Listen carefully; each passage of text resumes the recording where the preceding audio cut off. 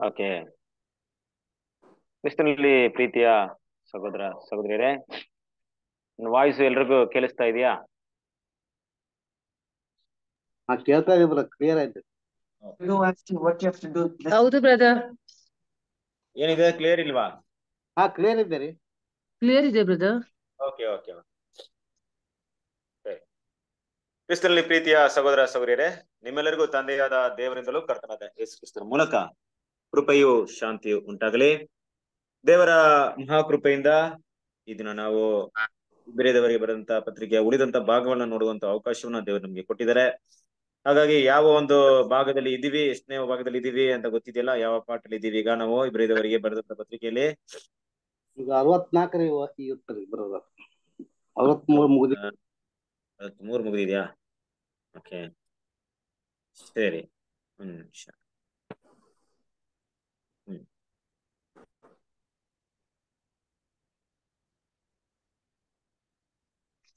Screen ಕಾಣಿಸ್ತಾ ಇದೆ ನಿಮ್ಗೆ? ಅದು ಕಾಣ್ತಾ ಇದೆ ಬಂತು. ಓಕೆ ಅರವತ್ತ ಮೂರು ಮುಗಿದು ಅರವತ್ತ ನಾಲ್ಕ ಹೌದ್ರಿ ಕರೆಕ್ಟ್ ಇದೆ ಓಕೆ ಸರಿ. ಹಾಗಾಗಿ ಸೊ ನಾವು ಲಾಸ್ಟ್ ಟೈಮ್ ಕೂಡ ಕೆಲವೊಂದು ವಿಷಯಗಳನ್ನ ಕೂಡ ನೋಡಿದ್ವಿ. ಮುಖ್ಯವಾಗಿ ತಂದೆಯಾದ ದೇವರ ಪ್ರೀತಿಯನ್ನ ಹೆಚ್ಚಾಗಿ ನೋಡಿದ್ವಿ ಆ ವಿಷಯಗಳಲ್ಲಿ. ತಂದೆಯು ಶಿಕ್ಷಿಸಿದ ಮಕ್ಕಳುಂಟು. ಅದು ದೇವರ ಮಕ್ಕಳ ಮೇಲೆ ದೇವರಿಗಿರುವಂತ ಸಂಪೂರ್ಣ ಪ್ರೀತಿಯನ್ನ ತೋರಿಸ್ಕೊಡ್ತಿದೆ. ಅದರ ಮುಂದುವರೆದ ಭಾಗವನ್ನು ಇವತ್ತು ಕೂಡ ನಾವು ನೋಡೋಣ. ಸೊ ವಾಕ್ಯವನ್ನ ಓದಿ ಇಬ್ಬರದವರಿಗೆ ಹನ್ನೆರಡನೇ ಅಧ್ಯಾಯ ಎಂಟನೇ ವಾಕ್ಯ.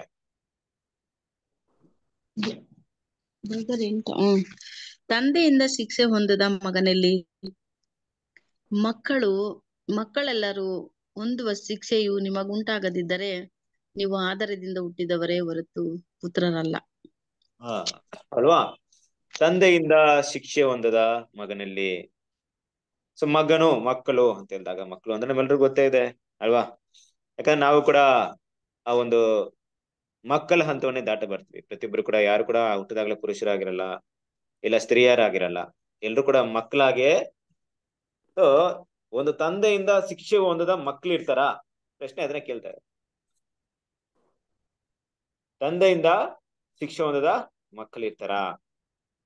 ಯಾಕೆ ಅಂತ ನೋಡಿದ್ರೆ, ಪ್ರತಿಯೊಂದು ಮಗು ಕೂಡ ಬೆಲಿಬೇಕಾದ್ರೆ ಅದೇನಾಗುತ್ತಂದ್ರೆ, ಒಳ್ಳೇದು ಮತ್ತು ಕೆಟ್ಟದ್ರ ಒಂದು ಸಂಪೂರ್ಣ ಜ್ಞಾನವಿಲ್ಲದೆ ಏನಾಗುತ್ತೆ? ಆ ಮಗು ಬೆಳೆಯುತ್ತೆ ಹಾಗೆ ಅದರ ಪ್ರಾರಂಭಿಕವಾಗಿ ಅದನ್ನ ತೋರ್ಸ್ಕೊಡುವಂತ ಒಂದು ಜವಾಬ್ದಾರಿ ಯಾರಿಗಿದೆ ಅಂತ ನೋಡಿದ್ರೆ ಸಂಪೂರ್ಣವಾಗಿ ಪೋಷಕರಿಗೆ ಇರುತ್ತೆ. ಅದರಿಂದ ಪ್ರೀತಿಯ ಸಹೋದರ ಸಹೋದರಿ, ನಾವು ಅರ್ಥ ಮಾಡ್ಕೊಬೇಕಾದಂತ ವಿಷಯ ಏನಪ್ಪಾ ಅಂದ್ರೆ ಆ ಒಂದು ತಿಳಿಸಿಕೊಡುವಂತ ಒಂದು ವಿಷಯ ಯಾವಾಗಲೂ ಕೂಡ ಒಳ್ಳೆ ಮಾತಿನಲ್ಲೇ ಇರುತ್ತಾ ಅನ್ನೋದು ಕೂಡ ಪ್ರಶ್ನೆ ಆಗಿದೆ ಅಲ್ವಾ? ಒಳ್ಳೆ ಮಾತಲ್ಲಿ. ಅಂದ್ರೆ ನಾವು ಹೇಳಿದ ತಕ್ಷಣ ಮಕ್ಳು ಕೇಳ್ತಾರ? ಬೇಡ ಮಕ್ಕಳ ಬಗ್ಗೆ ಬೇಡ. ನಮ್ ಬಗ್ಗೆನೆ ತಗೊಳ್ಳೋಣ. ನಾವು ಮಕ್ಳಾಗಿದ್ವಾ? ಕೇಳಿದ್ವಾ? ನಮ್ ಹೇಳಿದ ಮಾತೆಲ್ಲ ಅಷ್ಟು ವಿಧೇಯತೆನ ತೋರಿಸಿದ್ವಾ? ಖಂಡಿತವಾಗ್ಲೂ ಇಲ್ಲ. ಇಲ್ಲ. ಯಾಕಂದ್ರೆ ಎಲ್ಲರೂ ಕೂಡ ಹುಟ್ಟಿದಾಗ ಮಕ್ಕಳ ಒಂದು ಮನಸ್ಸಿನಲ್ಲಿ ಸ್ವಾರ್ಥ ಭಾವನೆಯಲ್ಲೇ ನಾವೆಲ್ಲರೂ ಬೆಳಿತೀವಿ. ನಮ್ಗೆ ಏನ್ ಇಷ್ಟವಾಗಿದೆಯೋ ಅದನ್ನ ನಾವು ಬಯಸ್ತಾ ಇರ್ತೀವಿ. ಆದ್ರೆ ಅದ್ರಲ್ಲಿ ಎಷ್ಟು ಅಪಾಯವಿದೆ, ಎಷ್ಟು ತಪ್ಪಿದೆ ಅನ್ನೋ ವಿಷಯ ನಮ್ಗೆ ಯಾರಿಗೂ ಗೊತ್ತಿರಲ್ಲ.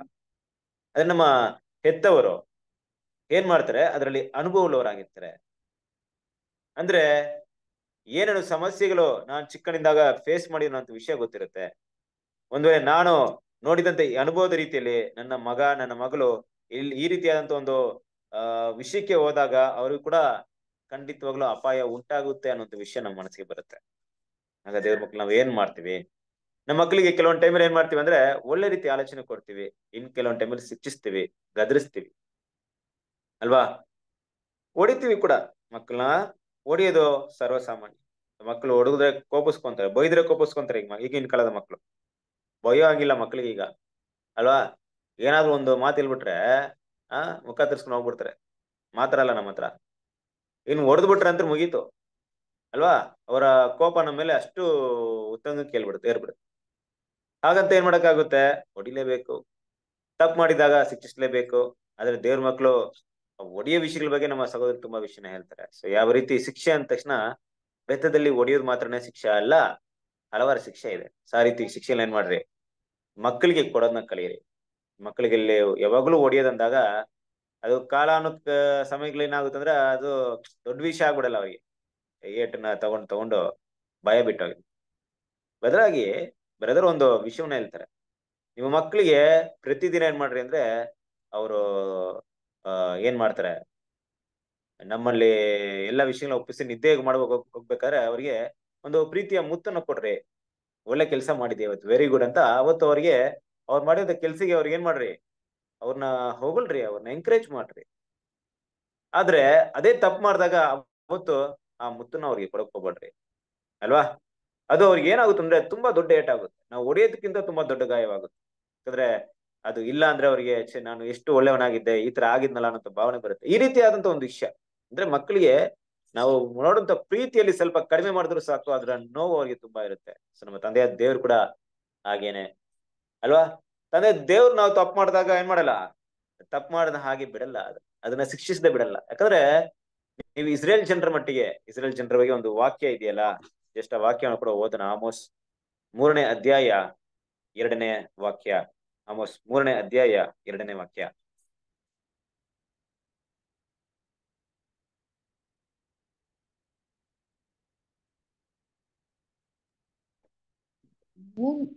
ಬ್ರದರ್ ಮೂರ್ ಎರಡಾ? ಹೌದು.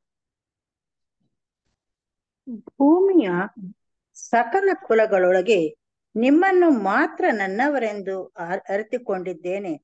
ಆದ ಕಾರಣ ನಿಮ್ಮ ಎಲ್ಲಾ ಪಾಪಗಳ ಫಲವನ್ನು ನಿಮಗೆ ತಿನ್ನಿಸುವೆನು. ಆ ನೋಡಿದ್ರ? ಭೂಮಿಯ ಸಕಲ ಕುಲದಲ್ಲಿ ನಿಮ್ಮನ್ನು ಮಾತ್ರ ನನ್ನವರೆಂದು ಅರ್- ಅರಿತುಕೊಂಡಿದ್ದೇನೆ. ಹಾಗಂತ ನಾನು ನಿಮ್ಮನ್ನ ತುಂಬಾ ಪ್ರೀತಿ ಮಾಡ್ತೀನಿ. ಏನೂ ಮಾಡಲ್ಲ ನಿಮ್ಮನ್ನ ಅಂತ ಹೇಳ್ತಾ ಇಲ್ಲ ದೇವರು. ನೀವು ತಪ್ಪು ಮಾಡಿದ್ರೆ ಖಂಡಿತ ಹೊಡಿತೀರಿ. ಅದೇ ನಮ್ಮ ದೇವರ ನೀತಿಯ ಒಂದು ವಿಷಯ.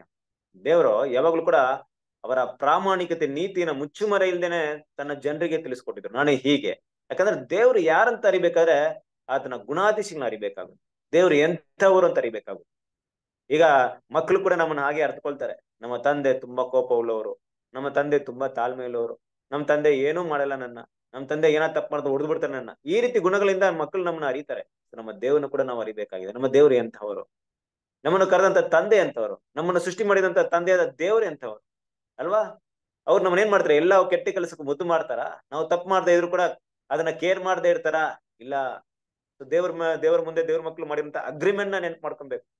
ನೋಡಿ, ಇಸ್ರೇಲ್ ಜನರಿಗೆ ಈ ರೀತಿಯಾದಂತ ಒಂದು ವಿಷಯ ಹೇಳಲ್ಪಟ್ಟಿರ್ಬೇಕಾದ್ರೆ, ಇಸ್ರೇಲ್ ಜನರಿಗಿಂತ ಮೇಲಾದ ಒಂದು ಕರೆಗೆ ಹೋಗ್ತಾ ಇದೀವಿ. ಇಡೀ ಲೋಕ ನಮ್ಮನ್ನ ನೋಡಿ ಪಾಠ ಕಲಿಬೇಕಾಗಿದೆ. ನಮ್ಮಲ್ಲಿ ಎಷ್ಟು ದೊಡ್ಡ ಗುಣಗಳು ಬೆಳಿಬೇಕಂತ ದೇವರ ಉದ್ದೇಶವಿರಬಹುದು. ಆ ಉದ್ದೇಶವನ್ನ ದೇವರೇ ಮಾಡದೆ ಇದ್ರೆ ಬೇರೆ ಯಾರು ಮಾಡ್ತಾರೆ? ಆ ಸ್ಥಾನವನ್ನ ತುಂಬಕ್ಕೆ ಬೇರೆ ಯಾರಾದ್ರೂ ಇದಾರ? ನಾನು ಹೇಳುವಂತ ವಿಷಯ, ನೂತನ ಸೃಷ್ಟಿಯ ಗುಣಗಳನ್ನ ಬೆಳೆಸೋದಿಕ್ಕೆ ಆ ಒಂದು ಗುಣಲಕ್ಷಣ ಕಂಡಿಡಿದು ನಮ್ಮಲ್ಲಿರುವಂತ ತಪ್ಪನ್ನ ಸರಿ ಮಾಡುವಂತ ಒಂದು ಜವಾಬ್ದಾರಿ, ಒಂದು ದೊಡ್ಡ ಕೆಲಸ ತಂದೆ ದೇವರು ತನ್ನ ಹಸ್ತದಲ್ಲಿ ಇಟ್ಕೊಂಡಿದ್ದಾರೆ. ಹಾಗಾಗಿ ನಾವು ತಪ್ಪು ಮಾಡಿದ್ದೆ ಆದ್ರೆ ನಮಗೆ ಶಿಕ್ಷೆ ಇದೆ. ಕ್ರಿಸ್ತನಲ್ಲಿ ಪ್ರೀತಿ ಸೌರ ಸೂರ್ಯರೇ ನೋಡ್ರಿ, ಹಲವಾರು ಜನರು ಏನಂತ ಮಾತಾಡುವಂತ ವಿಷಯಗಳನ್ನ ಕೂಡ ಕೇಳಿರ್ತೀವಿ. ಅಂದ್ರೆ ದೇವ್ರು ನಮ್ಗೆ ಸ್ವತಂತ್ರವನ್ನ ಕೊಟ್ಟಿದ್ದಾರೆ. ದೇವ್ರು ನಮ್ಗೆ ಸಂಪೂರ್ಣ ಫ್ರೀಡಮ್ನ ಕೊಟ್ಟಿದ್ದಾರೆ. ನಮ್ಮನ್ನ ಬಿಡುಗಡೆ ಮಾಡಿದ್ದಾರೆ, ಬಿಡುಗಡೆ ಮುಕ್ತರಾಗಿ ಮಾಡಿದ್ದಾರೆ. ಹೌದು, ಕ್ರಿಸ್ತನಲ್ಲಿ ಪ್ರೀತಿಯ ಸೌರ ಸೌರ್ಯರೇ ದೇವ್ರು ನಮ್ಗೆ ಬಿಡುಗಡೆ ಕೊಟ್ಟಿದ್ದಾರೆ. ಆದ್ರೆ, ಆ ಬಿಡುಗಡೆನ ನಮ್ಮ ಇಷ್ಟ ಬಂದ ಹಾಗೆ ಅದನ್ನ ಉಪಯೋಗ ಮಾಡುವ ಹಾಗಿಲ್ಲ. ದೇವರ ಚಿತ್ತಕ್ಕನುಸಾರವಾಗಿ ಉಪಯೋಗ ಮಾಡ್ಬೇಕು. ಅಲ್ವಾ? ನಾವು ದೇವರಲ್ಲಿ ಬರದೇ ಇದ್ದಾಗ ನಮ್ಗೆ ಒಂದು ಸ್ವಾತಂತ್ರ್ಯವಿತ್ತು. ಅಂದ್ರೆ ಲೋಕದಲ್ಲಿ ಗುಲಾಮರಾಗಿದ್ವಿ. ದೇವರೇನ್ ಮಾಡಿದ್ರು? ನಮ್ಮನ್ನ ಕರೆದ್ರು. ಕರಿಬೇಕಾದ್ರೆ ದೇವ್ರ ಏನಂತ ಹೇಳಿದ್ರು? ನಿಮ್ಮ ದೇಹವನ್ನ ಸಜೀವ ಯಜ್ಞವಾಗಿ ಒಪ್ಪಿಸ್ಕೊಡಿ ಅಂತ ಹೇಳಿದ್ರು. ಒಪ್ಪಿಸ್ಕೊಡೋದು, ಒಪ್ಪಿಸ್ಕೊಡದೆ ಇರೋದು ನಮ್ಮ ಕೈಯಲ್ಲೇ ಇತ್ತು. ಹಾಗಂತ ದೇವ್ರು ನಮ್ಮನ್ನ ಬಲವಂತ ಮಾಡಿರ್ಲಿಲ್ಲ. ನಮ್ಮನ್ನ ಕಡ್ಡಾಯ ಮಾಡಿರ್ಲಿಲ್ಲ. ಮಾಡ್ಲೇಬೇಕಂತ ಒತ್ತಾಯ ಮಾಡಿರ್ಲಿಲ್ಲ. ಬದಲಾಗಿ ನಮ್ಮಲ್ಲಿ ಆ ಒಂದು ಅವಕಾಶ ಮಾತ್ರ ಮುಂದೆ ಬಂತು. ನಾನು ಒಪ್ಪಿಸ್ಕೊಡೋದನ್ನ ನಮ್ಗೆ ಏನು ಸಿಗುತ್ತೆ ಅನ್ನೋಂತ ಒಂದು ವಿಷಯವನ್ನ ತಿಳ್ಕೊಂಡ್ವಿ. ನಾನು ನನ್ನ ಒಪ್ಪಿಸ್ಕೊಡದೆ ಈ ಭೂಮಿಯಲ್ಲಿ ಬದುಕೋದ್ರಿಂದ ಭೂಮಿ, ಭೂಮಿಗೆ ಸಂಬಂಧಪಟ್ಟ ಆಶೀರ್ವಾದ ಅನುಭವಿಸೋದ್ರಿಂದ ಏನೆಲ್ಲ ಆಗುತ್ತೆ ಅನ್ನೋ ವಿಷಯವನ್ನ ಅರ್ಥ ಮಾಡ್ಕೊಂಡ್ವಿ. ಇದೆಲ್ಲವನ್ನ ಅರ್ಥ ಮಾಡ್ಕೊಂಡು ನಾವು ನಾವಾಗಿಯೇ ಯಾವ ಒಂದು ಒತ್ತಾಯವಿಲ್ಲದೆ ನಾವು ನಾವಾಗಿಯೇ ದೇವರಿಗೆ ನಮ್ಮನ್ನ ಏನ್ ಮಾಡಿದೀವಿ ಒಪ್ಪಿಸ್ಕೊಟ್ಟಿದ್ವಿ ಒಪ್ಪಿಸ್ಕೊಟ್ಟ ಮೇಲೆ ಇಲ್ಲಿ ಒಂದು ಕಂಡೀಷನ್ ಇದೆ. ಒಪ್ಪಿಸ್ಕೊಡೋದು, ಒಪ್ಪಿಸ್ಕೊಡದೆ ಇರೋದು. ಅಂದ್ರೆ ದೇವರೊಂದಿಗೆ ಒಡಂಬಡಿಕೆ ಮಾಡುವುದು, ಮಾಡ್ಕೊಳ್ದೆ ಇರುವುದು ನಿಮ್ಮ ಕೈಯಲ್ಲಿರುವಂತ ವಿಷಯ. ಆದ್ರೆ ಒಡಂಬಡಿಕೆ ಮಾಡಿದ್ದೆ ಆದ್ರೆ ಅದನ್ನ ನೆರವೇರಿಸಲೇಬೇಕು. ಇಲ್ಲದಿದ್ರೆ ಮಾಡಬೇಕಾಗಿ ಇದೇ ಇಲ್ಲಿರುವಂತ ಒಂದು ವಿಷಯ. ದೇವರ ಜೊತೆಗೆ ನಾವು ಮಾಡಿದ ಒಡಂಬಡಿಕೆ ಮಾಡ್ಕೊಂಡಿದ್ದಾದ್ರೆ ಅದನ್ನ ಸಂಪೂರ್ಣವಾಗಿ ನೆರವೇರಿಸಬೇಕು. ಅದನ್ನ ನಾವು ಮಾಡ್ಕೊಂಡಿದ್ದ ಒಂದು ಒಡಂಬಡಿಕೆ ಏನಪ್ಪಾ ಅಂದ್ರೆ ದೇವರ ಮಕ್ಕಳು ದೇವರ ಮಕ್ಕಳು ಅಂದ್ರೆ ನಿಜವಾಗ್ಲೂ ಸತ್ಯವೇದ ವಿದ್ಯಾರ್ಥಿಗಳು ನಮಗೆ ತಿಳಿದಿರುವಂತ ಜ್ಞಾನದ ಪ್ರಕಾರ ಮಾತಾಡ್ತಾ ಇದ್ರು. ಸತ್ಯವೇದ ವಿದ್ಯಾರ್ಥಿಗಳು ಅಂದ್ರೆ ನಮಗಿರುವಂತ ಜ್ಞಾನ. ನಾವು ಮಾಡ್ಕೊಂಡಿರೋ ಒಂದು ಒಡಂಬಡಿಕೆ ಏನಪ್ಪಾ ಅಂದ್ರೆ ತಂದೆ, ನಾನು ನಿಮ್ಮ ಮಗನ ರೀತಿಯಲ್ಲೇ ಗುಣಗಳನ್ನ ಬೆಳೆಸ್ತೀನಿ. ಆ ಗುಣಗಳನ್ನ ಬೆಳೆಸಿ ಕ್ರಿಸ್ತನ ಸಾರೂಪ್ಯದಲ್ಲೇ ನಾನೇನಾಗ್ತೀನಿ? ನಾನು ಸಂಪೂರ್ಣವಾಗಿ ಆ ಕ್ರಿಸ್ತನ ಸಾರೂಪ್ಯನ ಬೆಳೆಸ್ತೀನಿ ನನ್ನಲ್ಲಿ. ಆ ಬೆಳೆಸೋದಕ್ಕೆ ಬೇಕಾದಂತ ಕೃಪೆನ ಕೊಡಿ, ಆತ್ಮವನ್ನ ಕೊಡಿ.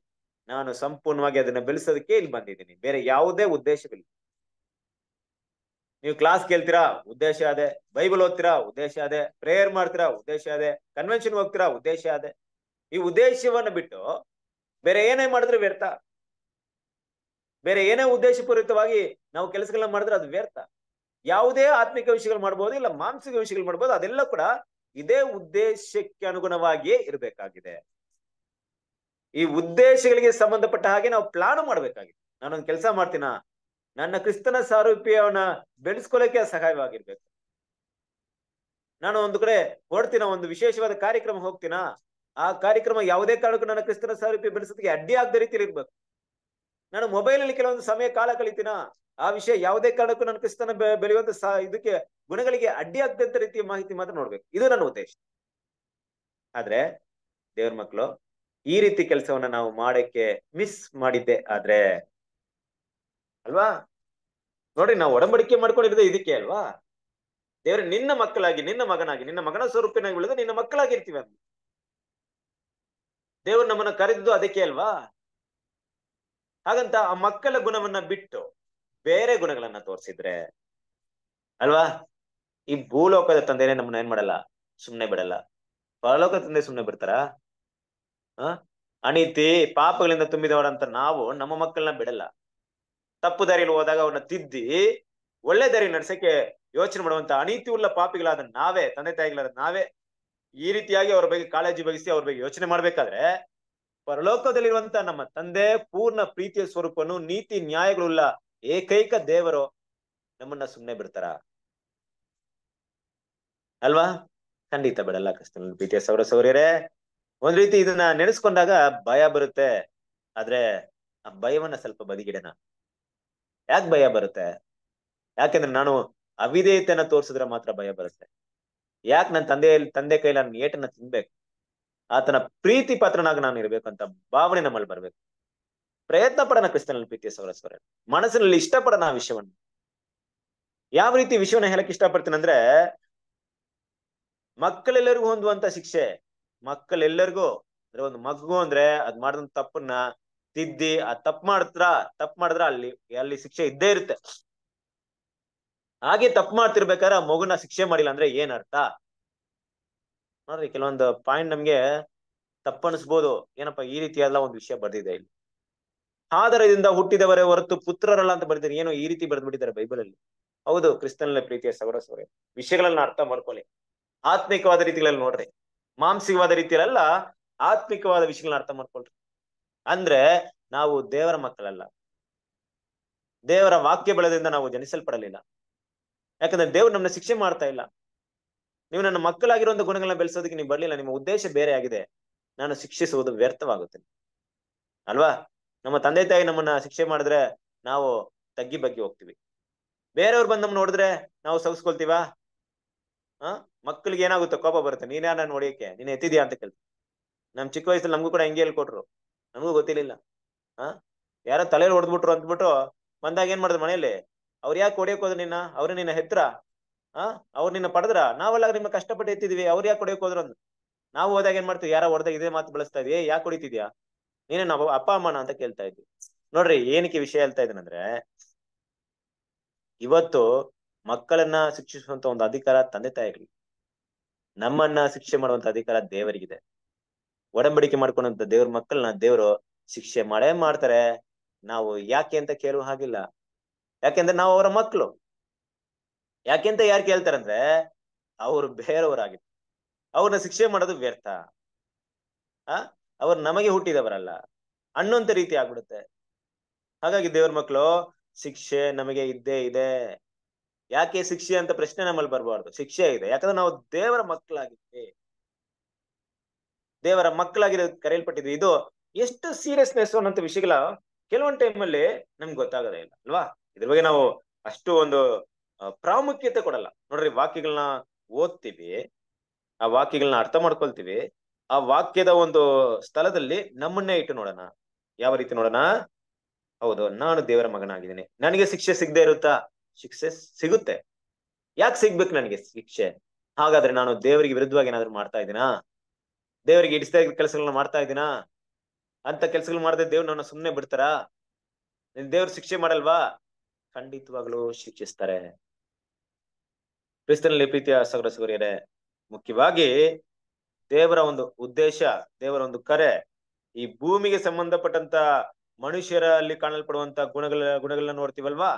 ಭೂಮಿಯಲ್ಲಿ ಇರುವಂತಹ ಹಲವಾರು ಮನುಷ್ಯರು ಉನ್ನತ ಒಂದು ಸ್ಥಾನದಲ್ಲಿ ಇರ್ತಾರೆ. ಅವರ ವ್ಯಕ್ತಿತ್ವವಾಗ್ಲಿ, ಅವರ ಗುಣಗಳಾಗ್ಲಿ, ಅವರ, ಅವರು ಅದನ್ನ ನಾವು ಏನ್ ಮಾಡ್ಬೇಕಂದ್ರೆ ಹೊಗಳ್ಬೇಕು. ವೆರಿ ಗುಡ್ ಏನಪ್ಪಾ ಒಳ್ಳೆ ಕ್ಯಾರೆಕ್ಟರ್ ಬೆಳೆಸ್ಕೊಂಡಿದ್ಯಪ್ಪ. ಅಲ್ವಾ? ನೋಡ್ರಿ ಮಕ್ಕಳಂತ ತಗೊಂಡಾಗ ಬೇಸಿಕಲಿ ಮಕ್ಕಳಿಗೆ ಪ್ರತಿಯೊಬ್ಬ ದೇವ್ರ ಮಕ್ಕಳು ತಮ್ಮ ಮಕ್ಕಳಿಗೆ ಎರಡು ವಿಷಯವನ್ನ ಬೇಸಿಕ್ ಆಗಿ ಹೇಳ್ಕೊಡ್ಬೇಕಾಗುತ್ತೆ. ಮೊದಲು ಕೂಡ ನಿಮ್ಗೆ ತಿಳಿಸಿದ್ದೀನಿ. ಈಗಲೂ ಕೂಡ ತಿಳಿಸ್ತೀನಿ. ಏನಪ್ಪಾ ಎರಡು ಬೇಸಿಕ್ ಇನ್ಫಾರ್ಮೇಶನ್ ಅಲ್ವಾ? ಮೊದಲನೇದು, ದೇವರಿಗೆ ಭಯ ಪಡ್ಬೇಕು, ದೊಡ್ಡವರಿಗೆ ಗೌರವಿಸ್ಬೇಕು. ಯಾಕಂದ್ರೆ ಯಾವಾಗ ಅವರು ಈ ರೀತಿಯಾದಂತ ಒಂದು ವಿಷಯಗಳನ್ನ ಮಾಡ್ತಾರೋ, ದೇವರಿಗೆ ಭಯಪಡ್ಬೇಕು, ಹಿರಿಯರನ್ನ ಗೌರವಿಸ್ಬೇಕು. ಇದು ಅವ್ರನ್ನ ಮುಂದಿನ ಹಂತಕ್ಕೆ ಕರ್ಕೊಂಡು ಹೋಗುತ್ತೆ. ದೇವರಿಗೆ ಭಯಪಡುವಂತ ಭಯ ಹೇಗೆ ತೋರಿಸ್ತಂದ್ರೆ ಅವರು ದೇವರ ವಾಕ್ಯವನ್ನು ಓದೋದ್ರಲ್ಲಿ, ಪ್ರಾರ್ಥನೆ ಮಾಡೋದ್ರಲ್ಲಿ, ಸತ್ಯಕ್ಕೆ ಸಂಬಂಧಪಟ್ಟ ಕಾರ್ಯಗಳನ್ನ ಹುಡುಕ್ತಾ ಇರ್ತಾರೆ ಯಾವಾಗ್ಲೂ. ಆ ರೀತಿ ವಿಷಯ ಏನ್ ತೋರಿಸುತ್ತೆ ಅಂದ್ರೆ ದೇವರಿಗೆ ಭಯ ಪಡ್ತಾ ಇದಾರೆ. ನಿಮ್ಮ ಮಕ್ಕಳಲ್ಲಿ ಅದು ಕಾಣಬಹುದು. ದೇವ್ರು ಭಯಪಡುವಂತ ವಿಷಯ ನಾವು ಹೇಳ್ಕೊಟ್ಟಿದ್ರೆ ಇದನ್ನ ಅವ್ರ ಲೈಫ್ ಅಲ್ಲಿ ಪ್ರತಿದಿನ ನೀವು ಕಾಣ್ಬಹುದು. ಮತ್ತೆ ಯಾರಾದ್ರು ದೊಡ್ಡವ್ರು ಬಂದಾಗ ಅವರಿಗೆ ನಮಸ್ಕಾರ ಮಾಡ್ಬೋದು.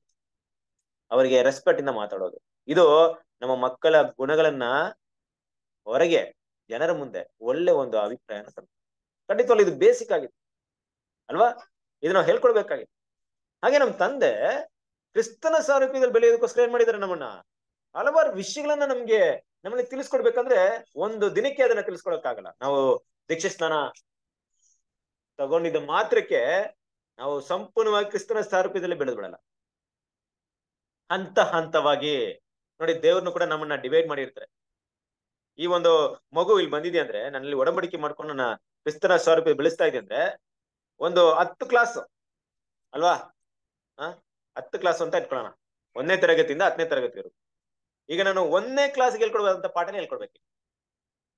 ಆದ್ರೆ ದೇವ್ರು ಯಾವಾಗ್ಲೂ ಏನ್ ಮಾಡಲ್ಲ, ಹತ್ತನೇ ಕ್ಲಾಸ್ ಪಾಠನ ಕಲಿ ಅಂತ ಹೇಳಿ ಕಲಿದು ಹೋದ್ರೆ ಹೊಡಿಯಕ್ ಹೋಗಲ್ಲ. ಒಂದನೇ ಕ್ಲಾಸ್ ಪಾಠನ ಹೇಳ್ಕೊಡ್ಬೇಕು. ಅದನ್ನ ಹೇಳಿ, ಅದರಲ್ಲಿ ಮಾಡಿದಂತ ತಪ್ಪಿಗೆ ತಕ್ಕ ಶಿಕ್ಷೆ ಇರುತ್ತೆ ಅದನ್ನ ಬದಲಾಯ ಬದಲಾಯಿಸ್ಕೊಂಡಾದ್ರೆ ಅದನ್ನ ನಾವು ಸರಿಯಾಗಿ ಅದನ್ನ ಸರಿ ಮಾಡ್ಕೊಂಡಿದ್ದಾದ್ರೆ ಎರಡನೇ ತರಗತಿಗೆ ಹೋಗ್ತೀವಿ. ಎರಡನೇ ಹಂತಕ್ಕೆ ಹೋಗ್ತೀವಿ. ಅಲ್ಲೂ ಕೂಡ ಕೆಲವೊಂದು ಬದಲಾವಣೆ ಇರುತ್ತೆ. ಕೆಲವೊಂದು ನಮ್ಮನ್ನ ಶಿಕ್ಷಿಸಿ, ಸರಿಪಡಿಸಿ, ಮುಂದಿನ ಹಂತಕ್ಕೆ ದೇವ್ರು ಕರ್ಕೊಂಡು ಹೋಗ್ತಾರೆ. ಹೀಗೆ ನಾವು ವಿಧೇಯತೆನ ತೋರಿಸಿದ್ರೆ ಮಾತ್ರ ಒಂದರಿಂದ ಆ ಹತ್ತನೇ ಹಂತದವರೆಗೂ ಏನ್ ಮಾಡ್ಬೋದು ನಾವು? ಮುಂದುವರಿಬಹುದು ಇಲ್ಲ, ನಾನು ನನ್ನ ತಿದ್ಕೊಳ್ಳಲ್ಲ ದೇವ್ರೆ. ತಿದ್ಕೊಳ್ಳಲ್ಲ ಕ್ರಿಸ್ತಲ ಪ್ರೀತಿ ಸೌರ್ಯರೇ. ಆ ಇನ್ ಕೆಲವರಿಗೆ ಏನಪ್ಪಾ ಅಂದ್ರೆ ತಿದ್ದೋದಂದ್ರೆ ದೇವರೇ ಬಂದು ತಿಂತಾರೆ ತಿತ್ತರ ಆ ದೇವರು ನಮ್ಮ ಹತ್ರ ಮಾತಾಡೋದು ವಾಕ್ಯದ ಬಲಗಳಿಂದ ಮಾತಾಡ್ತಾರೆ. ವಾಕ್ಯದ ಮೂಲಕ ಮಾತಾಡ್ತಾರೆ.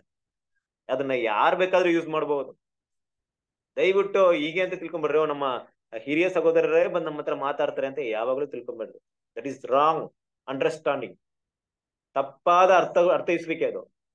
ಯಾಕೆ? ಮಗುವಿಂದಾನು ಮಾತಾಡ್ಬೋದು. ನಮ್ಮ ಮನೆಯಿರುವಂತರು ಮಾತಾಡ್ಬೋದು. ನಮ್ ಜೊತೆ ಇರುವಂತ ಸಹೋದರರು ಕೂಡ ಕೆಲವೊಂದು ವಾಕ್ಯ ಹೇಳ್ಬೋದು ನೋಡಿ, ಈ ವಾಕ್ಯ ಹೆಂಗಿದೆ? ಇದು ಪ್ರಕಾರ ಸರಿಯಲ್ಲ ಅಲ್ವಾ? ಹಿಂಗೂ ಹೇಳ್ಬೋದು. ನಮ್ಮನ್ನ ತಿದ್ದುವಂತ ಕೆಲಸ ಯಾರು ಬೇಕಾದ್ರೂ ಮಾಡ್ಬೋದು, ಕ್ರಿಸ್ತನ ಪ್ರೀತಿಯ ಸವರ ಸಹೋದರಿಯರೇ. ಅದನ್ನ ಬದಲಾಯಿಸ್ಕೊಂಡ್ರೆ ಒಳ್ಳೇದು. ಆದ್ರೆ ನಮ್ಮನ್ನ ಶಿಕ್ಷಿಸುವಂತ ಒಂದು ಜವಾಬ್ದಾರಿ ದೇವರಿಗೆ ಮಾತ್ರ ಇದೆ. ನಮ್ಮನ್ನ ತಿದ್ದುವಂತ ಕೆಲಸ ಯಾರ್ ಬೇಕಾದ್ರೆ ಮಾಡ್ತಾರೆ. ನಮ್ಮನ್ನ ಸರಿಪಡಿಸಕ್ಕೆ ಏನ್ ಮಾಡ್ತಾರೆ? ಯಾರ್ ಬೇಕಾದ್ರೆ ಇದ್ ಮಾಡ್ತಾರೆ. ಬಟ್ ದೇವ್ರ ಮಾತ್ರ ಏನ್ ಮಾಡ್ತಾರೆ ನಮ್ಮನ್ನ? ಶಿಕ್ಷಿಸ್ತಾರೆ. ಶಿಕ್ಷಿಸ್ತಾರೆ ಏನಪ್ಪಾ ಅಂದ್ರೆ ಹೊಡಿತಾರೆ ಅಂತ ಅರ್ಥ ಅಲ್ಲ. ಕ್ರಿಸ್ತನ ಪ್ರೀತಿ ಸೌರ ಸೌರ್ಯರೇ ನಮ್ಮ ಒಂದು ಜೀವನದಲ್ಲಿ ಈ ಗುಣ ಸರಿ ಇಲ್ಲ, ಈ ಗುಣನ ಬೆಳೆಸ್ಕೊಳ್ತಾ ಇಲ್ಲ ನೀವು. ನೀವು ಬೆಳೆಸ್ಕೊಬೇಕು ಅನ್ನೋಂತ ರೀತಿಯಲ್ಲಿ, ಆ, ನಮ್ಮನ್ನ ಯಾವ ಶಿಕ್ಷೆ ಕೊಟ್ರೆ ಆ ಶಿಕ್ಷೆಗೆ ಇವರು ಪ್ರತಿಯಾಗಿ ಅದನ್ನ ಬದಲಾವಣೆ ಮಾಡ್ಕೊಳ್ತಾರ ಅನ್ನೋಂತ ವಿಷಯ ಯಾರಿಗ್ ಮಾತ್ರ ಗೊತ್ತಿದೆ ಅಂದ್ರೆ ದೇವ್ರಿಗೆ ಮಾತ್ರ ಅಲ್ವಾ? ನಮ್ಮ ತಂದೆ ದೇವ್ರಿಗೆ ಮಾತ್ರ ನಮ್ಮ ಸಂಪೂರ್ಣ ಬಲಹೀನತೆ ಬಗ್ಗೆ ಗೊತ್ತಿದೆ. ಆ ಬಲಹೀನತೆನ ನಾವು ಯೂಸ್ ಮಾಡೋದು ಮಿಸ್ಯೂಸ್ ಮಾಡೋದು ದೇವ್ರಿಗೆ ಮಾತ್ರ ಗೊತ್ತಿದೆ.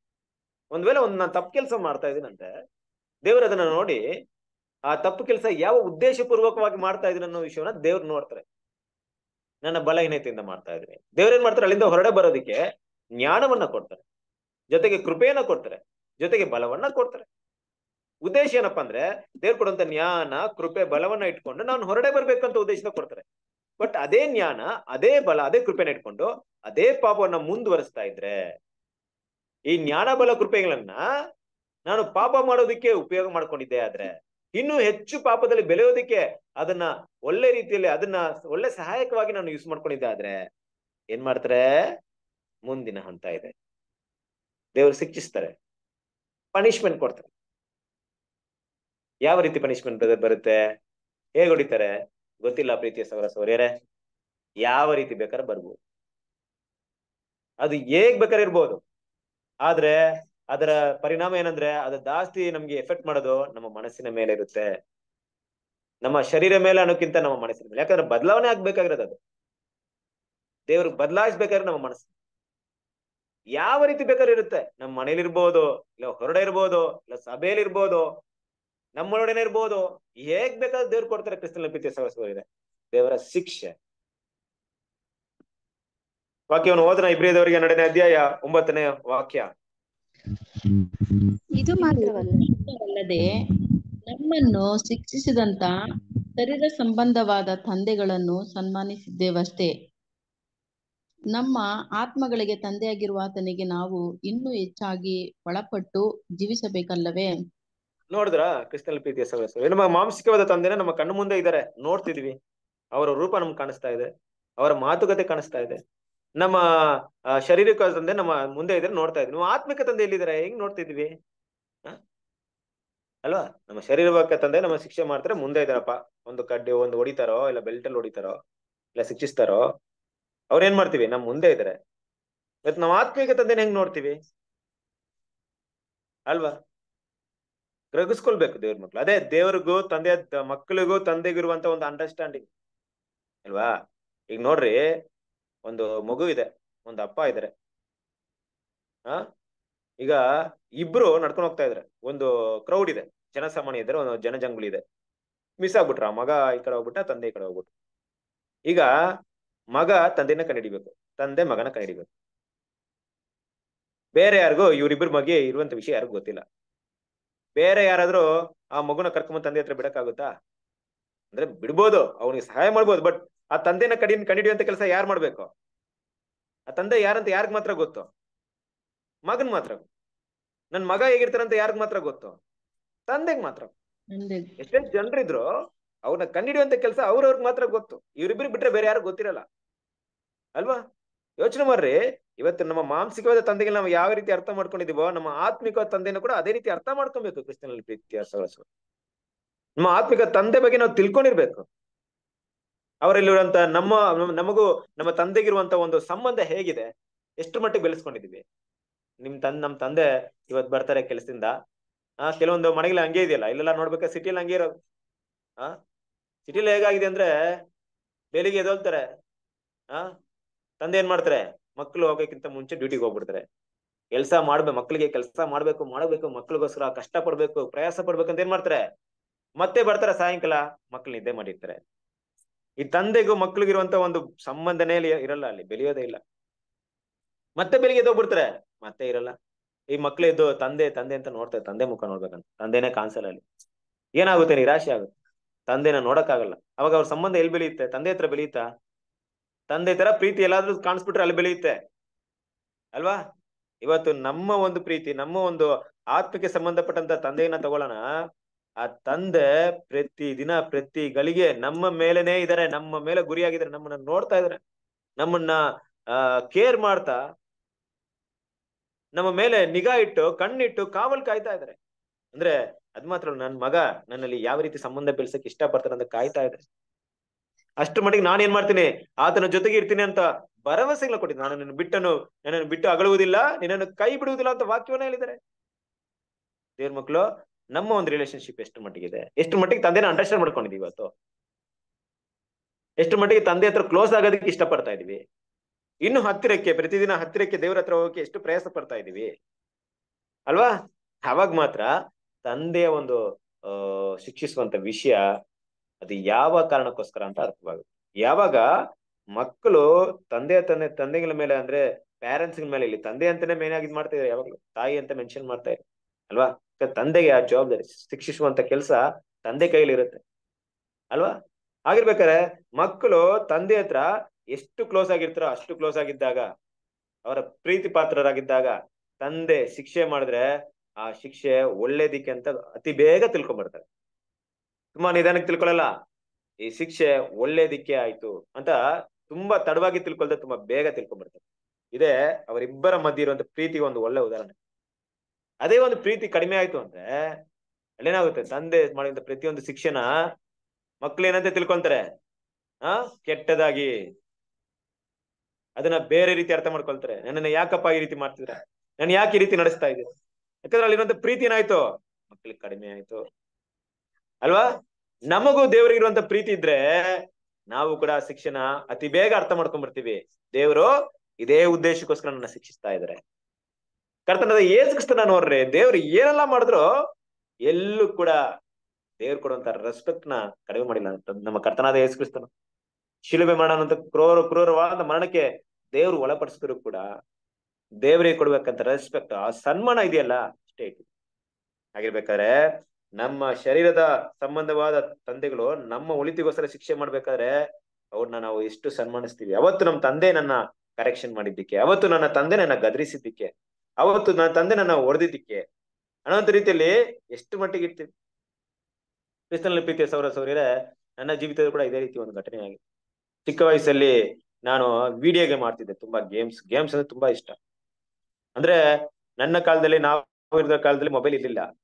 ವಿಡಿಯೋ ಗೇಮ್ ಅಂತ ಒಂದು ಇದೆಲ್ಲ ಸಿಗ್ತಾ ಇತ್ತು. ಅದು ಎರಡೇ ಶೆಲ್ ಹಾಕ್ಬಿಟ್ಟು ಅದನ್ನ ಆಟ ಆಡ್ಬೇಕು. ಅಲ್ಲಿ ಈ ಗೇಮ್ ಅಂದ್ರೆ ಒಂದು ಕಾರ್ ರೇಸ್ ತರ, ಅದು ಓಡ್ತಾ ಸ್ಪೀಡ್ ಆಗಿ ಅದನ್ನ ಸ್ಪೀಡ್ ಆಗಿ ಓಡಿಸ್ಕೊಂಡು ಹೋಗ್ಬೇಕು. ಅವಾಗ ಎಲ್ಲೋ ನಾನು ತಗೊಂಡಿರ್ಲಿಲ್ಲ, ಯಾರೋ ಬಂದ್ ಕೊಟ್ರು ಅನ್ಸುತ್ತೆ ನನಗೆ, ಮನೇಲಿ ಯಾರೋ. ನಾನು ಇಟ್ಕೊಂಡು ಏನ್ ಮಾಡ್ತಿದ್ದೆ ಅದನ್ನ ಆಡ್ತಾ ಇದ್ದೆ. ಒಂದ್ಸರಿ ನನ್ನ ತಂದೆ ನನ್ನ ಕರೆದ್ರು ನನಗೆ, ನನ್ನ ಹೆಸರು ಕರೆದ್ರು. ಇವಾಗ ನಾನು, ಅಪ್ಪ, ಬರ್ತೀನಿ ಬರ್ತೀನಿ ಅಂದೆ. ಬರೋ, ಇದು ತಕ್ಕೊಡೋ, ಇದು ಕೆಲಸ ಮಾಡೋಂದ್ರು ಬರ್ತೀನಿ ಅಂದೆ. ಆದ್ರೆ ನಾನು ಇಲ್ಲಿ ಡೀಪ್ ಆಗಿ ನನ್ನ ಮೊಬೈಲ್ ಫೋನ್ ಅಲ್ಲಿ ಇಂಟ್ರೆಸ್ಟ್ ಆಗ್ಬಿಟ್ಟಿದ್ದೀನಿ. ಎಲ್ಲಿ ಬರ್ತೀನಿ? ಹೋಗಲ್ಲ ನಾನು. ಬಾಯಲ್ಲಿ ಹೇಳ್ತಾ ಇದ್ದೀನಿ ಅಷ್ಟೇ, ಬರ್ತೀನಿ ಬರ್ತೀನಿ ಅಂದ್ಬಿಟ್ಟು. ಬಾರಪ್ಪ, ಸ್ವಲ್ಪ ಬಾ ಬಾ, ಬೇಗ ಬಾ, ಈ ಕೆಲಸ ಮುಗಿಸ್ಬಿಡು, ಬಾ. ನಾನು ಹೋಗ್ಬೇಕು, ಟೈಮ್ ಆಯ್ತು, ಬರೋ ಅಂತ ಕರೆದ್ರು. ಅಪ್ಪ ಬರ್ತೀನಿ ಬರ್ತೀನಿ ಅಪ್ಪ ಬರ್ತೀನಪ್ಪ ಅಂದ್ಬಿಟ್ಟು ಗೇಮ್ ಅಲ್ಲೇ ಸ್ಪೀಡ್ ಆಗಿ ಆಡ್ತೀನಿ. ಏನಪ್ಪ ನನ್ನ ಮೈಂಡ್ ಹೆಂಗಿದೆ ಅಂದ್ರೆ ಈ ವಿಡಿಯೋ ಗೇಮ್ ಗೇಮ್ ಮುಗಿಸ್ಬಿಟ್ಟು ಹೋಗ್ಬಿಡೋಣ ಅಂತ. ಬಿಟ್ಟೋಗ್ಬಿಟ್ರೆ ಈಗೆಲ್ಲ ನಾನು ಅಷ್ಟು ದೂರ ಬಂದ್ಬಿಟ್ಟಿದ್ದೀನಿ ಗೇಮ್ ಅಲ್ಲಿ. ಈಗ ಅರ್ಧ ಬಿಟ್ಟು ಹೋಗಕ್ಕಾಗಲ್ಲ ನನ್ನ ಕೈಲಿ ಈಗ. ಮುಗಿಸ್ಬಿಟ್ಟು ಹೋಗ್ಬೇಕು ನಾನು. ತಂದೆ ಕರೀಲಿ, ಆಯ್ತು ತಂದೆ ತಂದೆನ ಬ್ಯಾಲೆನ್ಸ್ ಮಾಡೋಣ ಅಂದ್ಬಿಟ್ಟು. ಅಯ್ಯ, ಬಂದ್ಬಿಟ್ಟಪ್ಪ ಬಂದ್ಬಿಟ್ಟಪ್ಪ, ಒಂದ್ ಐದ್ ನಿಮಿಷ ಅಪ್ಪ ಬರ್ತೀನಪ್ಪ ಅಂದೆ. ಆಡ್ತಾನೆ ಇದೀನಿ ಸ್ಪೀಡ್ ಆಗಿ ಆಡ್ತಾನೆ ಇದೀನಿ ತಂದೆ ಏನ್ ಮಾಡಿದ್ರು ಗೊತ್ತಾ? ಅಲ್ಲಿಂದ ನೆಟ್ಟಿಗೆ ಬಂದ್ರು. ನನ್ನ ಕೈಯಲ್ಲಿರೋ ವಿಡಿಯೋ ಗೇಮ್ನ ಕೆರಡೆ ಹಾಕಿದ್ರು. ಕಾಲಲ್ಲಿ ತುಳಿದ್ರು. ಪೀಸ್ ಪೀಸ್ ಆಯ್ತು. ಅಲ್ವಾ? ಅವತ್ತು ಬಿಟ್ಟೆ ಕ್ರಿಸ್ತನಲ್ಲಿ ಪ್ರೀತಿಯ ಸೌರ ಸರಿ ನಾನು ಗೇಮ್ ಆಡೋದ್ನ. ಇವತ್ತುವರೆಗೆ ಗೇಮ್ ಆಡಲ್ಲ ನಾನು. ಅವತ್ತು ನಾನು ಗೇಮ್ ಮಾಡಿದ್ ಬಿಡಿದ್ಕೆ ನಾನು ನಮ್ಮ ತಂದೆ ಆತರ ಮಾಡಿದಂತ ಕೆಲ್ಸಕ್ಕೆ ನನ್ನ ಮನಸ್ಸಲ್ಲಿ ಎಷ್ಟು ಆಘಾತ ಆಯ್ತು ಗೊತ್ತಾ? ಅಂದ್ರೆ ನಾನು ಇನ್ನು ಐ ಸ್ಕೋರ್ ಅಲ್ಲಿ ಇದ್ದೆ. ಇನ್ನು ಸ್ವಲ್ಪದಲ್ಲಿ ನಾನು ಐ ಸ್ಕೋರ್ ಇಟ್ಟು ನಾನು ಗೇಮ್ ನಾನು ಮುಗಿಸ್ತಾ ಇದ್ದೆ. ನನ್ನಲ್ಲಿ ಒಂದು ಖುಷಿ ಬರ್ತಾ ಇತ್ತು, ಸಂತೋಷ ಬರ್ತಾ ಇತ್ತು. ನಾನು ಗೇಮ್ ಅಲ್ಲಿ ಸಖತ್ತಾಗಿ ಆಡ್ಬಿಟ್ಟಿದ್ರಲ್ಲಪ್ಪ ನಾನು ಐ ಸ್ಕೋರ್ ತಗೊಂಡ್ಬಿಟ್ಟಿದ್ದೀನಿ ಅಂದ್ಬಿಟ್ಟು. ಅಷ್ಟರಲ್ಲಿ ನನ್ನ ತಂದೆ ಮಾಡಿದ್ರು ನೋಡಿ, ನನ್ನ ತಂದೆ ಮೇಲೆ ಬಹಳ ಸಿಟ್ಟು ಬಂತು. ಆದ್ರೆ ಕ್ಷಣ ಮಾತ್ರದಲ್ಲಿ ಆಮೇಲೆ ರಿಯಲೈಸ್ ಮಾಡಿ ಗೇಮ್ ಮಾಡೋದನ್ನೇ ಬಿಟ್ಟೆ ನಾನು. ಇವತ್ತವರೆಗೂ ನನ್ನ ಮೊಬೈಲ್ ಅಲ್ಲಿ ಒಂದು ಗೇಮ್ ಇಲ್ಲ. ನಾನು ಇಷ್ಟಪಡಲ್ಲ ಕ್ರಿಸ್ತನ ಪ್ರೀತಿಯ ಇದೆ ಒಂದು ಗೇಮ್ ಆಡಲ್ಲ ನಾನು. ಯಾವುದೇ ಸಣ್ಣ ಪುಟ್ಟ ಗೇಮ್ ನಾನು ಇಷ್ಟಪಡಲ್ಲ ನಾನು.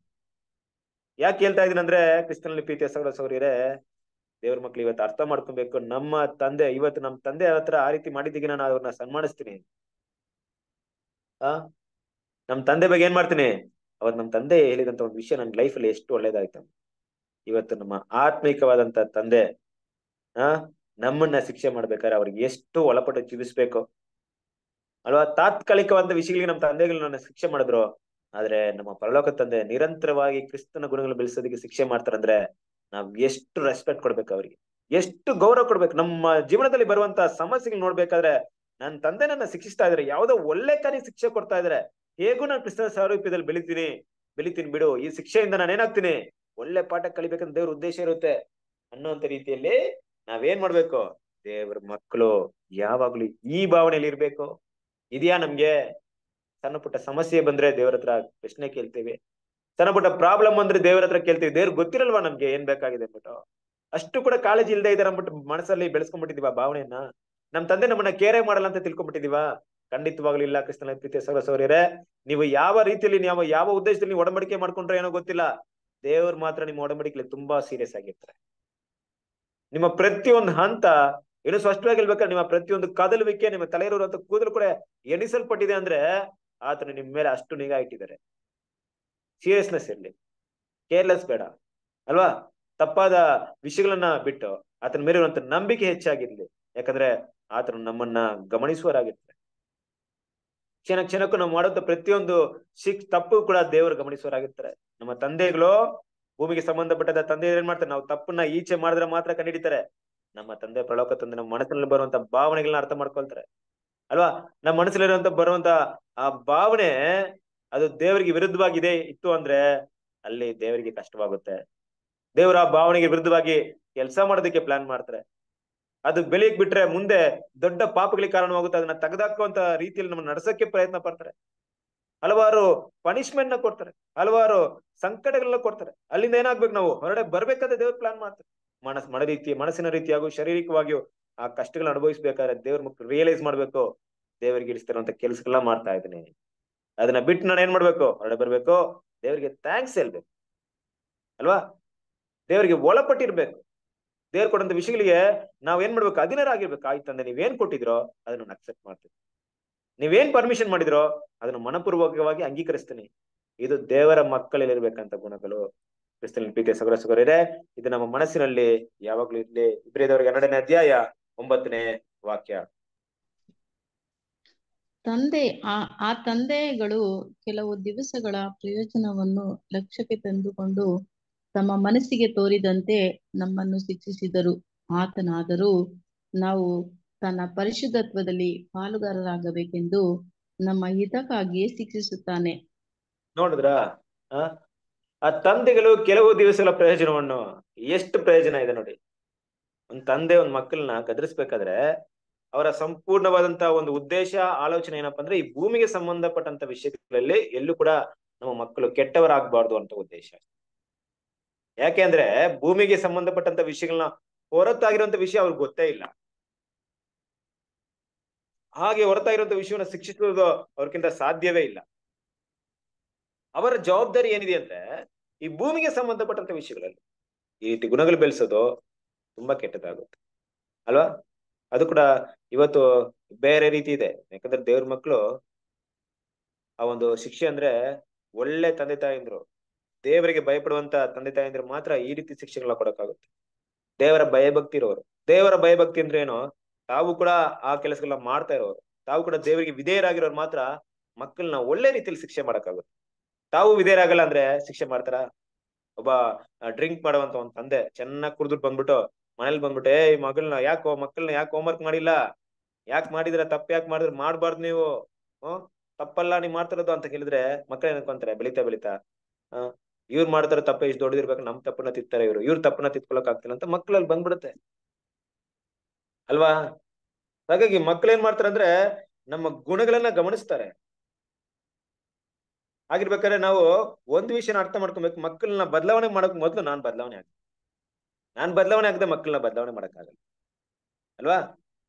ನನ್ನಲ್ಲಿರುವಂತ ಬದಲಾವಣೆ ಮಕ್ಕಳನ್ನ ಸರಿಯಾದ ದಾರಿ ನಡೆಸುತ್ತೆ ಹೊರತು ಮಕ್ಕಳನ್ನ ಬದಲಾಯಿಸ್ಕೊಂಡು ನಾನ್ ಬದಲಾವಣೆ ಆಗದೆ ಇದ್ರೆ ಮಕ್ಕಳು ಖಂಡಿತವಾಗ್ಲೂ ಒಳ್ಳೆ ದಾರಿ ನಡೆಯಲ್ಲ.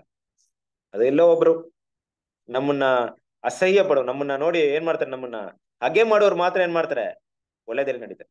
ನಮ್ ತಂದೆ ತರ ನಾನು ಇರಬಾರ್ದಪ್ಪ. ನಮ್ ತಂದೆ ತರ ನಾನು ಕುಡ್ಕಾಗಲ್ಲ ನಾನು. ಛೇ, ಏನಪ್ಪ ಅವ್ನ ಜೀವನ? ಆ ರೀತಿ ನಮ್ಮನ್ನ ಹಗೆ ಮಾಡೋರು ಮಾತ್ರ ಆ ದಾರಿನ ಬಿಟ್ಟು ಹೋಗಿರ್ತಾರೆ. ಇಲ್ದೆ ಇದ್ರೆ ಎಲ್ರು ನಮ್ಮನ್ ತರ ಕರೀತಾರೆ ಅಷ್ಟೇ. ಆದ್ರಿಂದ ದೇವ್ರ ಮಕ್ಕಳು ಇಲ್ಲಿ ಅರ್ಥ ಮಾಡ್ಕೊಬೇಕಾಗಿರೋಂತ ವಿಷಯ ಏನಪ್ಪಾ ಅಂದ್ರೆ ಮನಸ್ಸಿಗೆ ತೋರಿದಂತೆ ನಮ್ಮನ್ನ ಶಿಕ್ಷಿಸಿದ್ರು, ಯಾವ್ದು ಸರಿ ಅನ್ಸುತ್ತಾ ಆ ಶಿಕ್ಷೆ ಮಾಡ್ತಾರೆ ಭೂಮಿಯಲ್ಲಿರುವಂತ ನಮ್ಮ ತಂದೆ.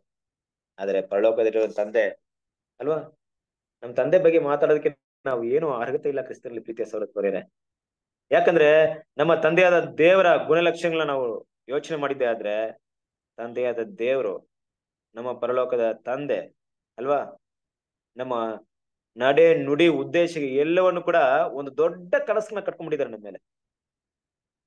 ದೊಡ್ಡ ಕನಸನ. ಯಾವ ರೀತಿ ಕನಸು ಗೊತ್ತಾ? ಸಾಧಾರಣ ಕನಸಲ್ಲ. ಕೃಷ್ಣ ಸರ್ವ ಸೌರ್ಯರೇ, ನಾವೆಲ್ರೂ ದೇವರ ಮಕ್ಕಳಾಗಿ, ದೇವರ ಪರಿಶುದ್ಧತೆಯಲ್ಲಿ ದೇವರಿಟ್ಟಿರುವಂತಹ ಯೋಜನೆಯಲ್ಲಿ ಪಾಲುಗಾರರಾಗ್ಬೇಕು.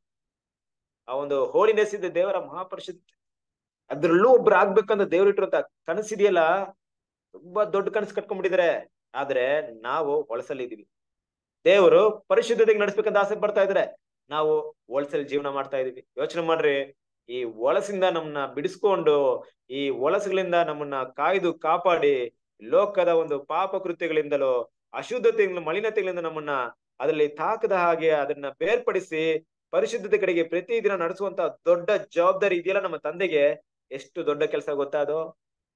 ಎಷ್ಟು ದೊಡ್ಡ ಜವಾಬ್ದಾರಿ ಗೊತ್ತಾ? ಹ?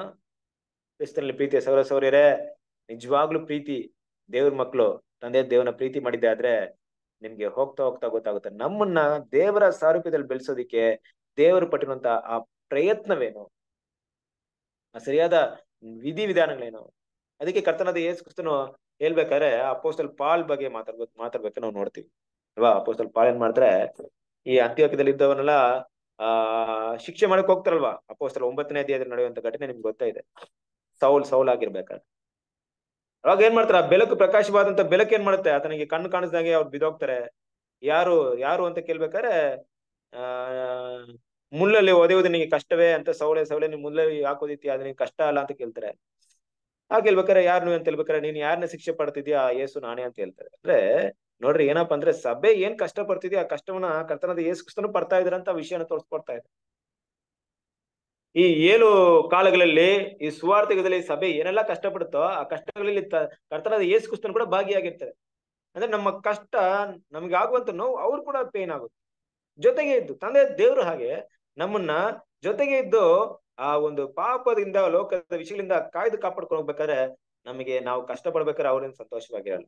ನಾವು ಅವರು ಕಷ್ಟ ಪಡ್ತಾರೆ ಅಂದ್ರೆ, ಈ ನಿಮ್ಮ ಮಗು ಯಾವುದೋ ಒಂದು ಕಾಲಿಗೆ ಏನಾದ್ರು ಏಟಾಯ್ತು ನೋವಾಯ್ತು ಆ ಕಷ್ಟ ಪಡ್ಬೇಕಾರೆ ಹೆಂಗಿರುತ್ತೆ ನಮ್ಗೆ? ನೋಡ್ಕೊಂಡ್ ಸಗ್ಸಕ್ಕಾಗಲ್ಲ ಅಲ್ವಾ? ಅಂದ್ರೆ ಮಾಂಸದಲ್ಲಿರುವಂತ ತಂದೆ ಅಂದ್ರೆ ನಾವು ಈ ರೀತಿ ಒಂದು ದುಃಖವನ್ನ, ಆ ಪೇನ್ ನಮ್ಮ ಮನ್ಸಲ್ಲಿ ತಗೊಳ್ತೀವಿ ಅಂದ್ರೆ ತಂದೆ ದೇವರು.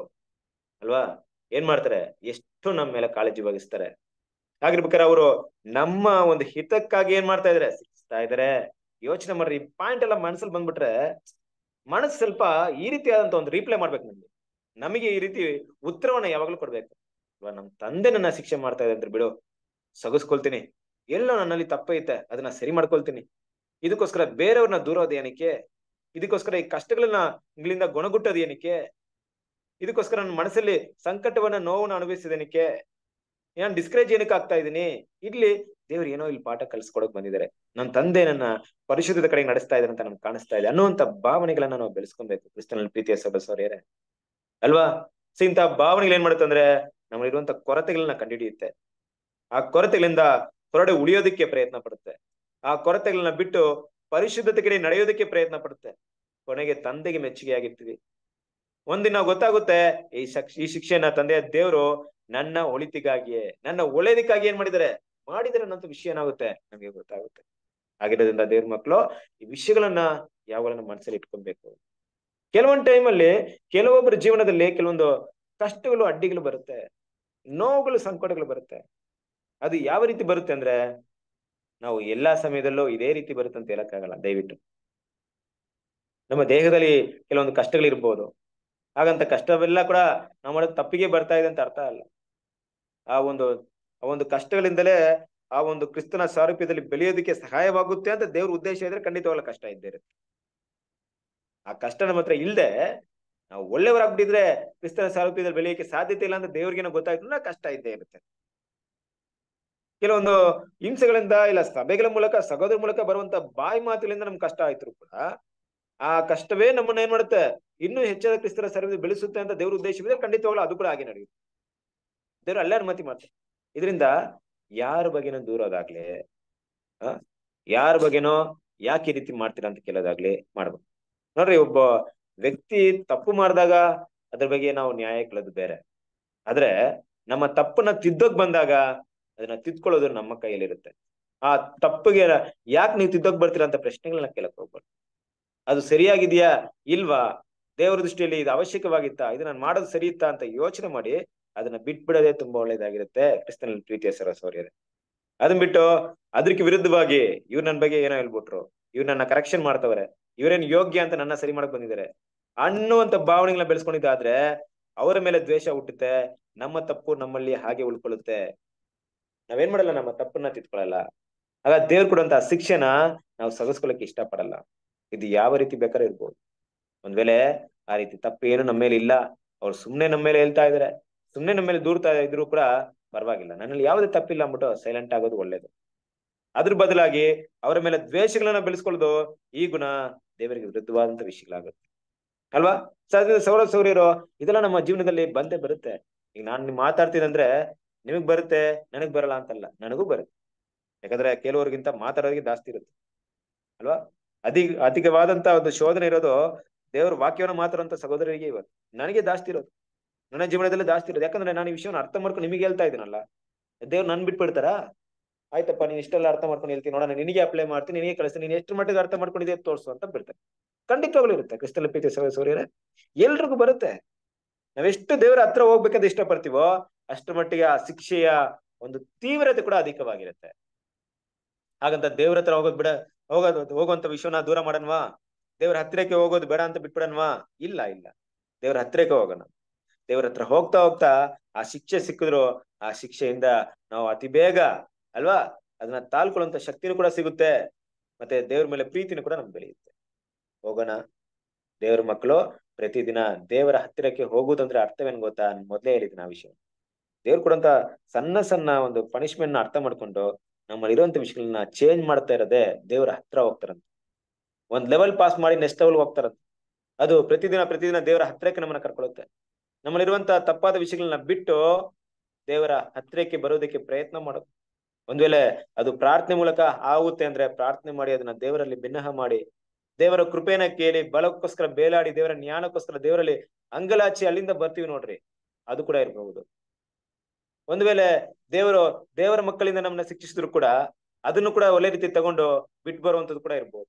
ಯಾವ ರೀತಿ ಅಲ್ಲ ದೇವರ ಮಕ್ಕಳು ಪ್ರತಿದಿನ ದೇವರ ಹತ್ತಿರಕ್ಕೆ ಬರುವಂತ ವಿಷಯ ಮಾಡಿದ್ದಾದ್ರೆ ನಾವು ಪರಿಶುದ್ಧತೆಯಿಂದ ಪರಿಶುದ್ಧ ಕಡೆಗೆ ಹೋಗ್ತೀವಿ. ಅಲ್ವಾ? ದೇವರು ನಮ್ಮನ್ನ ಸರಿಯಾದ ದಾರಿಯಲ್ಲಿ ನಡೆಸ್ತಾ ಇದ್ದಾರೆ. ನಾನೀಗ ಸರಿಯಾದ ಟ್ರ್ಯಾಕ್ ಅಲ್ಲಿ ಹೋಗ್ತಾ ಇದ್ದೀನಿ. ಕಾರಣ, ಮೊದ್ಲಿಗಿಂತ ದೇವ್ರನ್ನ ತುಂಬಾ ಚೆನ್ನಾಗಿ ಅರ್ಥ ಮಾಡ್ಕೊಳ್ತಾ ಇದ್ದೀನಿ. ಮೊದ್ಲಿಗಿಂತ ದೇವರ ಕೃಪೆನ ಅರ್ಥ ಮಾಡ್ಕೊಳ್ತಾ ಇದ್ದೀನಿ. ಮೊದ್ಲಿಗಿಂತ ದೇವರ ಪ್ರೀತಿನ ಇನ್ನೂ ಹೆಚ್ಚಾಗಿ ಅರ್ಥ ಮಾಡ್ಕೊಂಡಿದ್ದೀನಿ ಅನ್ನುವಂತ ಮಾತು ನಮ್ಮ ಹೃದಯದಿಂದ ಹೇಳುವುದಾಗಿದ್ರೆ, ಹೌದು, ದೇವರು ನಮ್ಮನ್ನ ಶಿಕ್ಷಿಸಿ ಸರಿಯಾದ ದಾರಿಯಲ್ಲಿ ನಡೆಸ್ತಾ ಇದ್ದಾರೆ. ಆತನ ಪರಿಶುದ್ಧತೆಯಲ್ಲಿ ನಾವು ಪಾಲ್ಗೊರಾಗ್ಬೇಕಂತ ಏನ್ ಮಾಡ್ತಾರೆ ನಮ್ಮ ಹಿತಕ್ಕಾಗಿ ಶಿಕ್ಷಿಸುವಂತ ವಿಷಯವನ್ನ ನಾವು ಗ್ರಹಿಸ್ಕೊಂಡಿದೀವಿ ಅಂತ ಅರ್ಥ ಬರುತ್ತೆ. ಆಗಿರೋದ್ರಿಂದ ದೇವ್ರ ಮಕ್ಕಳು ಇದೆಲ್ಲವನ್ನ ಏನ್ ಮಾಡೋಣ? ನಾವು ಗಮನಿಸೋಣ. ಸಹೋದರ ಮಾತಾಡ್ಬೇಕಾದ್ರೆ ಈ ವಿಷಯಗಳನ್ನ ತುಂಬಾ ಒಂದು ಒಳ್ಳೆ ವಿಷಯವನ್ನ ಹೇಳ್ತಾರೆ ರಜಲ್ ಬ್ರದರ್ ಮಾತಾಡ್ಬೇಕಾರೆ ಆ, ಇದನ್ನ ಶಿಕ್ಷಣ ಅಂತ ವಿಷಯ ನಾನು ಮೊದಲೇ ಹೇಳಿದ್ದೀನಿ. ಡಿಸಿಪ್ಲೈನ್ಡ್ ಅಂತ ಹೇಳ್ತಾರೆ. ಡಿಸಿಪ್ಲೈನ್ ಅಂದ್ರೆ ಸರಿಯಾದ ರೀತಿಯಲ್ಲಿ ನಮ್ಮನ್ನ ನಡೆಸೋದು. ಸರಿಯಾದ ದಾರಿಗೆ ನಮ್ಮನ್ನ ತಗೊಂಡ್ಬರೋದು ಅಲ್ವಾ? ಯಾಕಂದ್ರೆ ನಮ್ಗೆ ಯಾವುದು ಸರಿ ಅಂತ ಗೊತ್ತಿರಲ್ಲ ಕೆಲವೊಂದು ಟೈಮಲ್ಲಿ ಆ ಸರಿಯಾದ ಒಂದು ದಾರಿಲಿ ಏನ್ ಮಾಡ್ಬೇಕು ನಮ್ಮನ್ನ? ನಡೆಸ್ಬೇಕು. ನೋಡಿ ಪ್ರಲಾಪಗಳು ಮೂರನೇ ಅಧ್ಯಾಯ ಮೂವತ್ ಮೂರನೇ ವಾಕ್ಯವನ್ನು ಓದಿ ಬ್ರದರ್ ಯಾವುದು? ಪ್ರಲಾಪಗಳು ಮೂರನೇ ಅಧ್ಯಾಯ ಮೂವತ್ತ ಮೂರನೇ ವಾಕ್ಯ.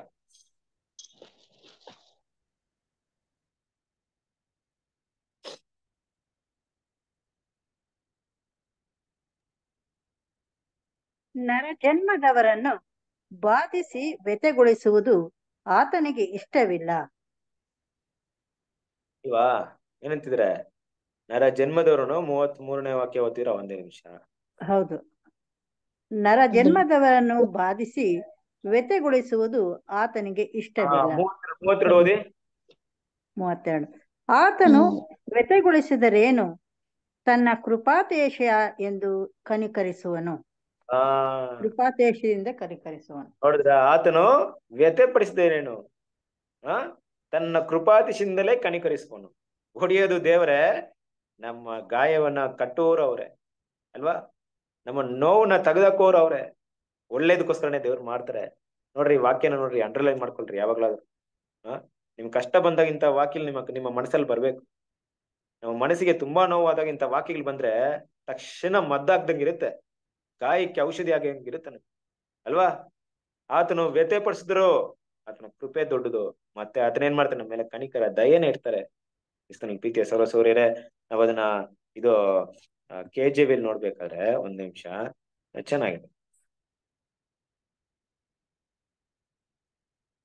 ಏನಿದೆ ಅಲ್ಲಿ ಕೆ ಜಿ ವಿಲಿ ನೋಡಿ? ಆ,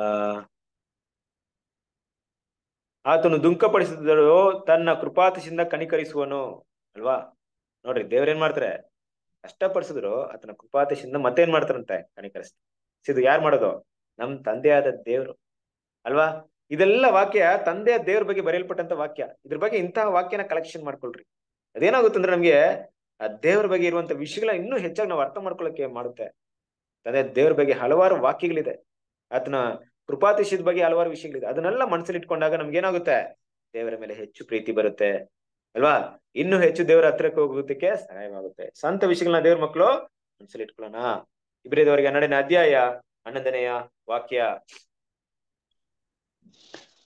ಯಾವ ಶಿಕ್ಷೆಯಾದರೂ ತಾತ್ಕಾಲಿಕ ಸಂತೋಷಕರವಾಗಿ ತೋಚದೆ, ದುಃಖಕರವಾಗಿ ತೋಚುತ್ತದೆ, ಆದರೂ ತರುವಾಯ ಅದು ಶಿಕ್ಷೆ ಹೊಂದಿದವರಿಗೆ ನೀತಿ ಎಂಬ ಫಲವನ್ನು ಕೊಟ್ಟು ಮನಸ್ಸಿಗೆ ಸಮಾಧಾನವನ್ನು ಉಂಟು ಮಾಡುತ್ತದೆ.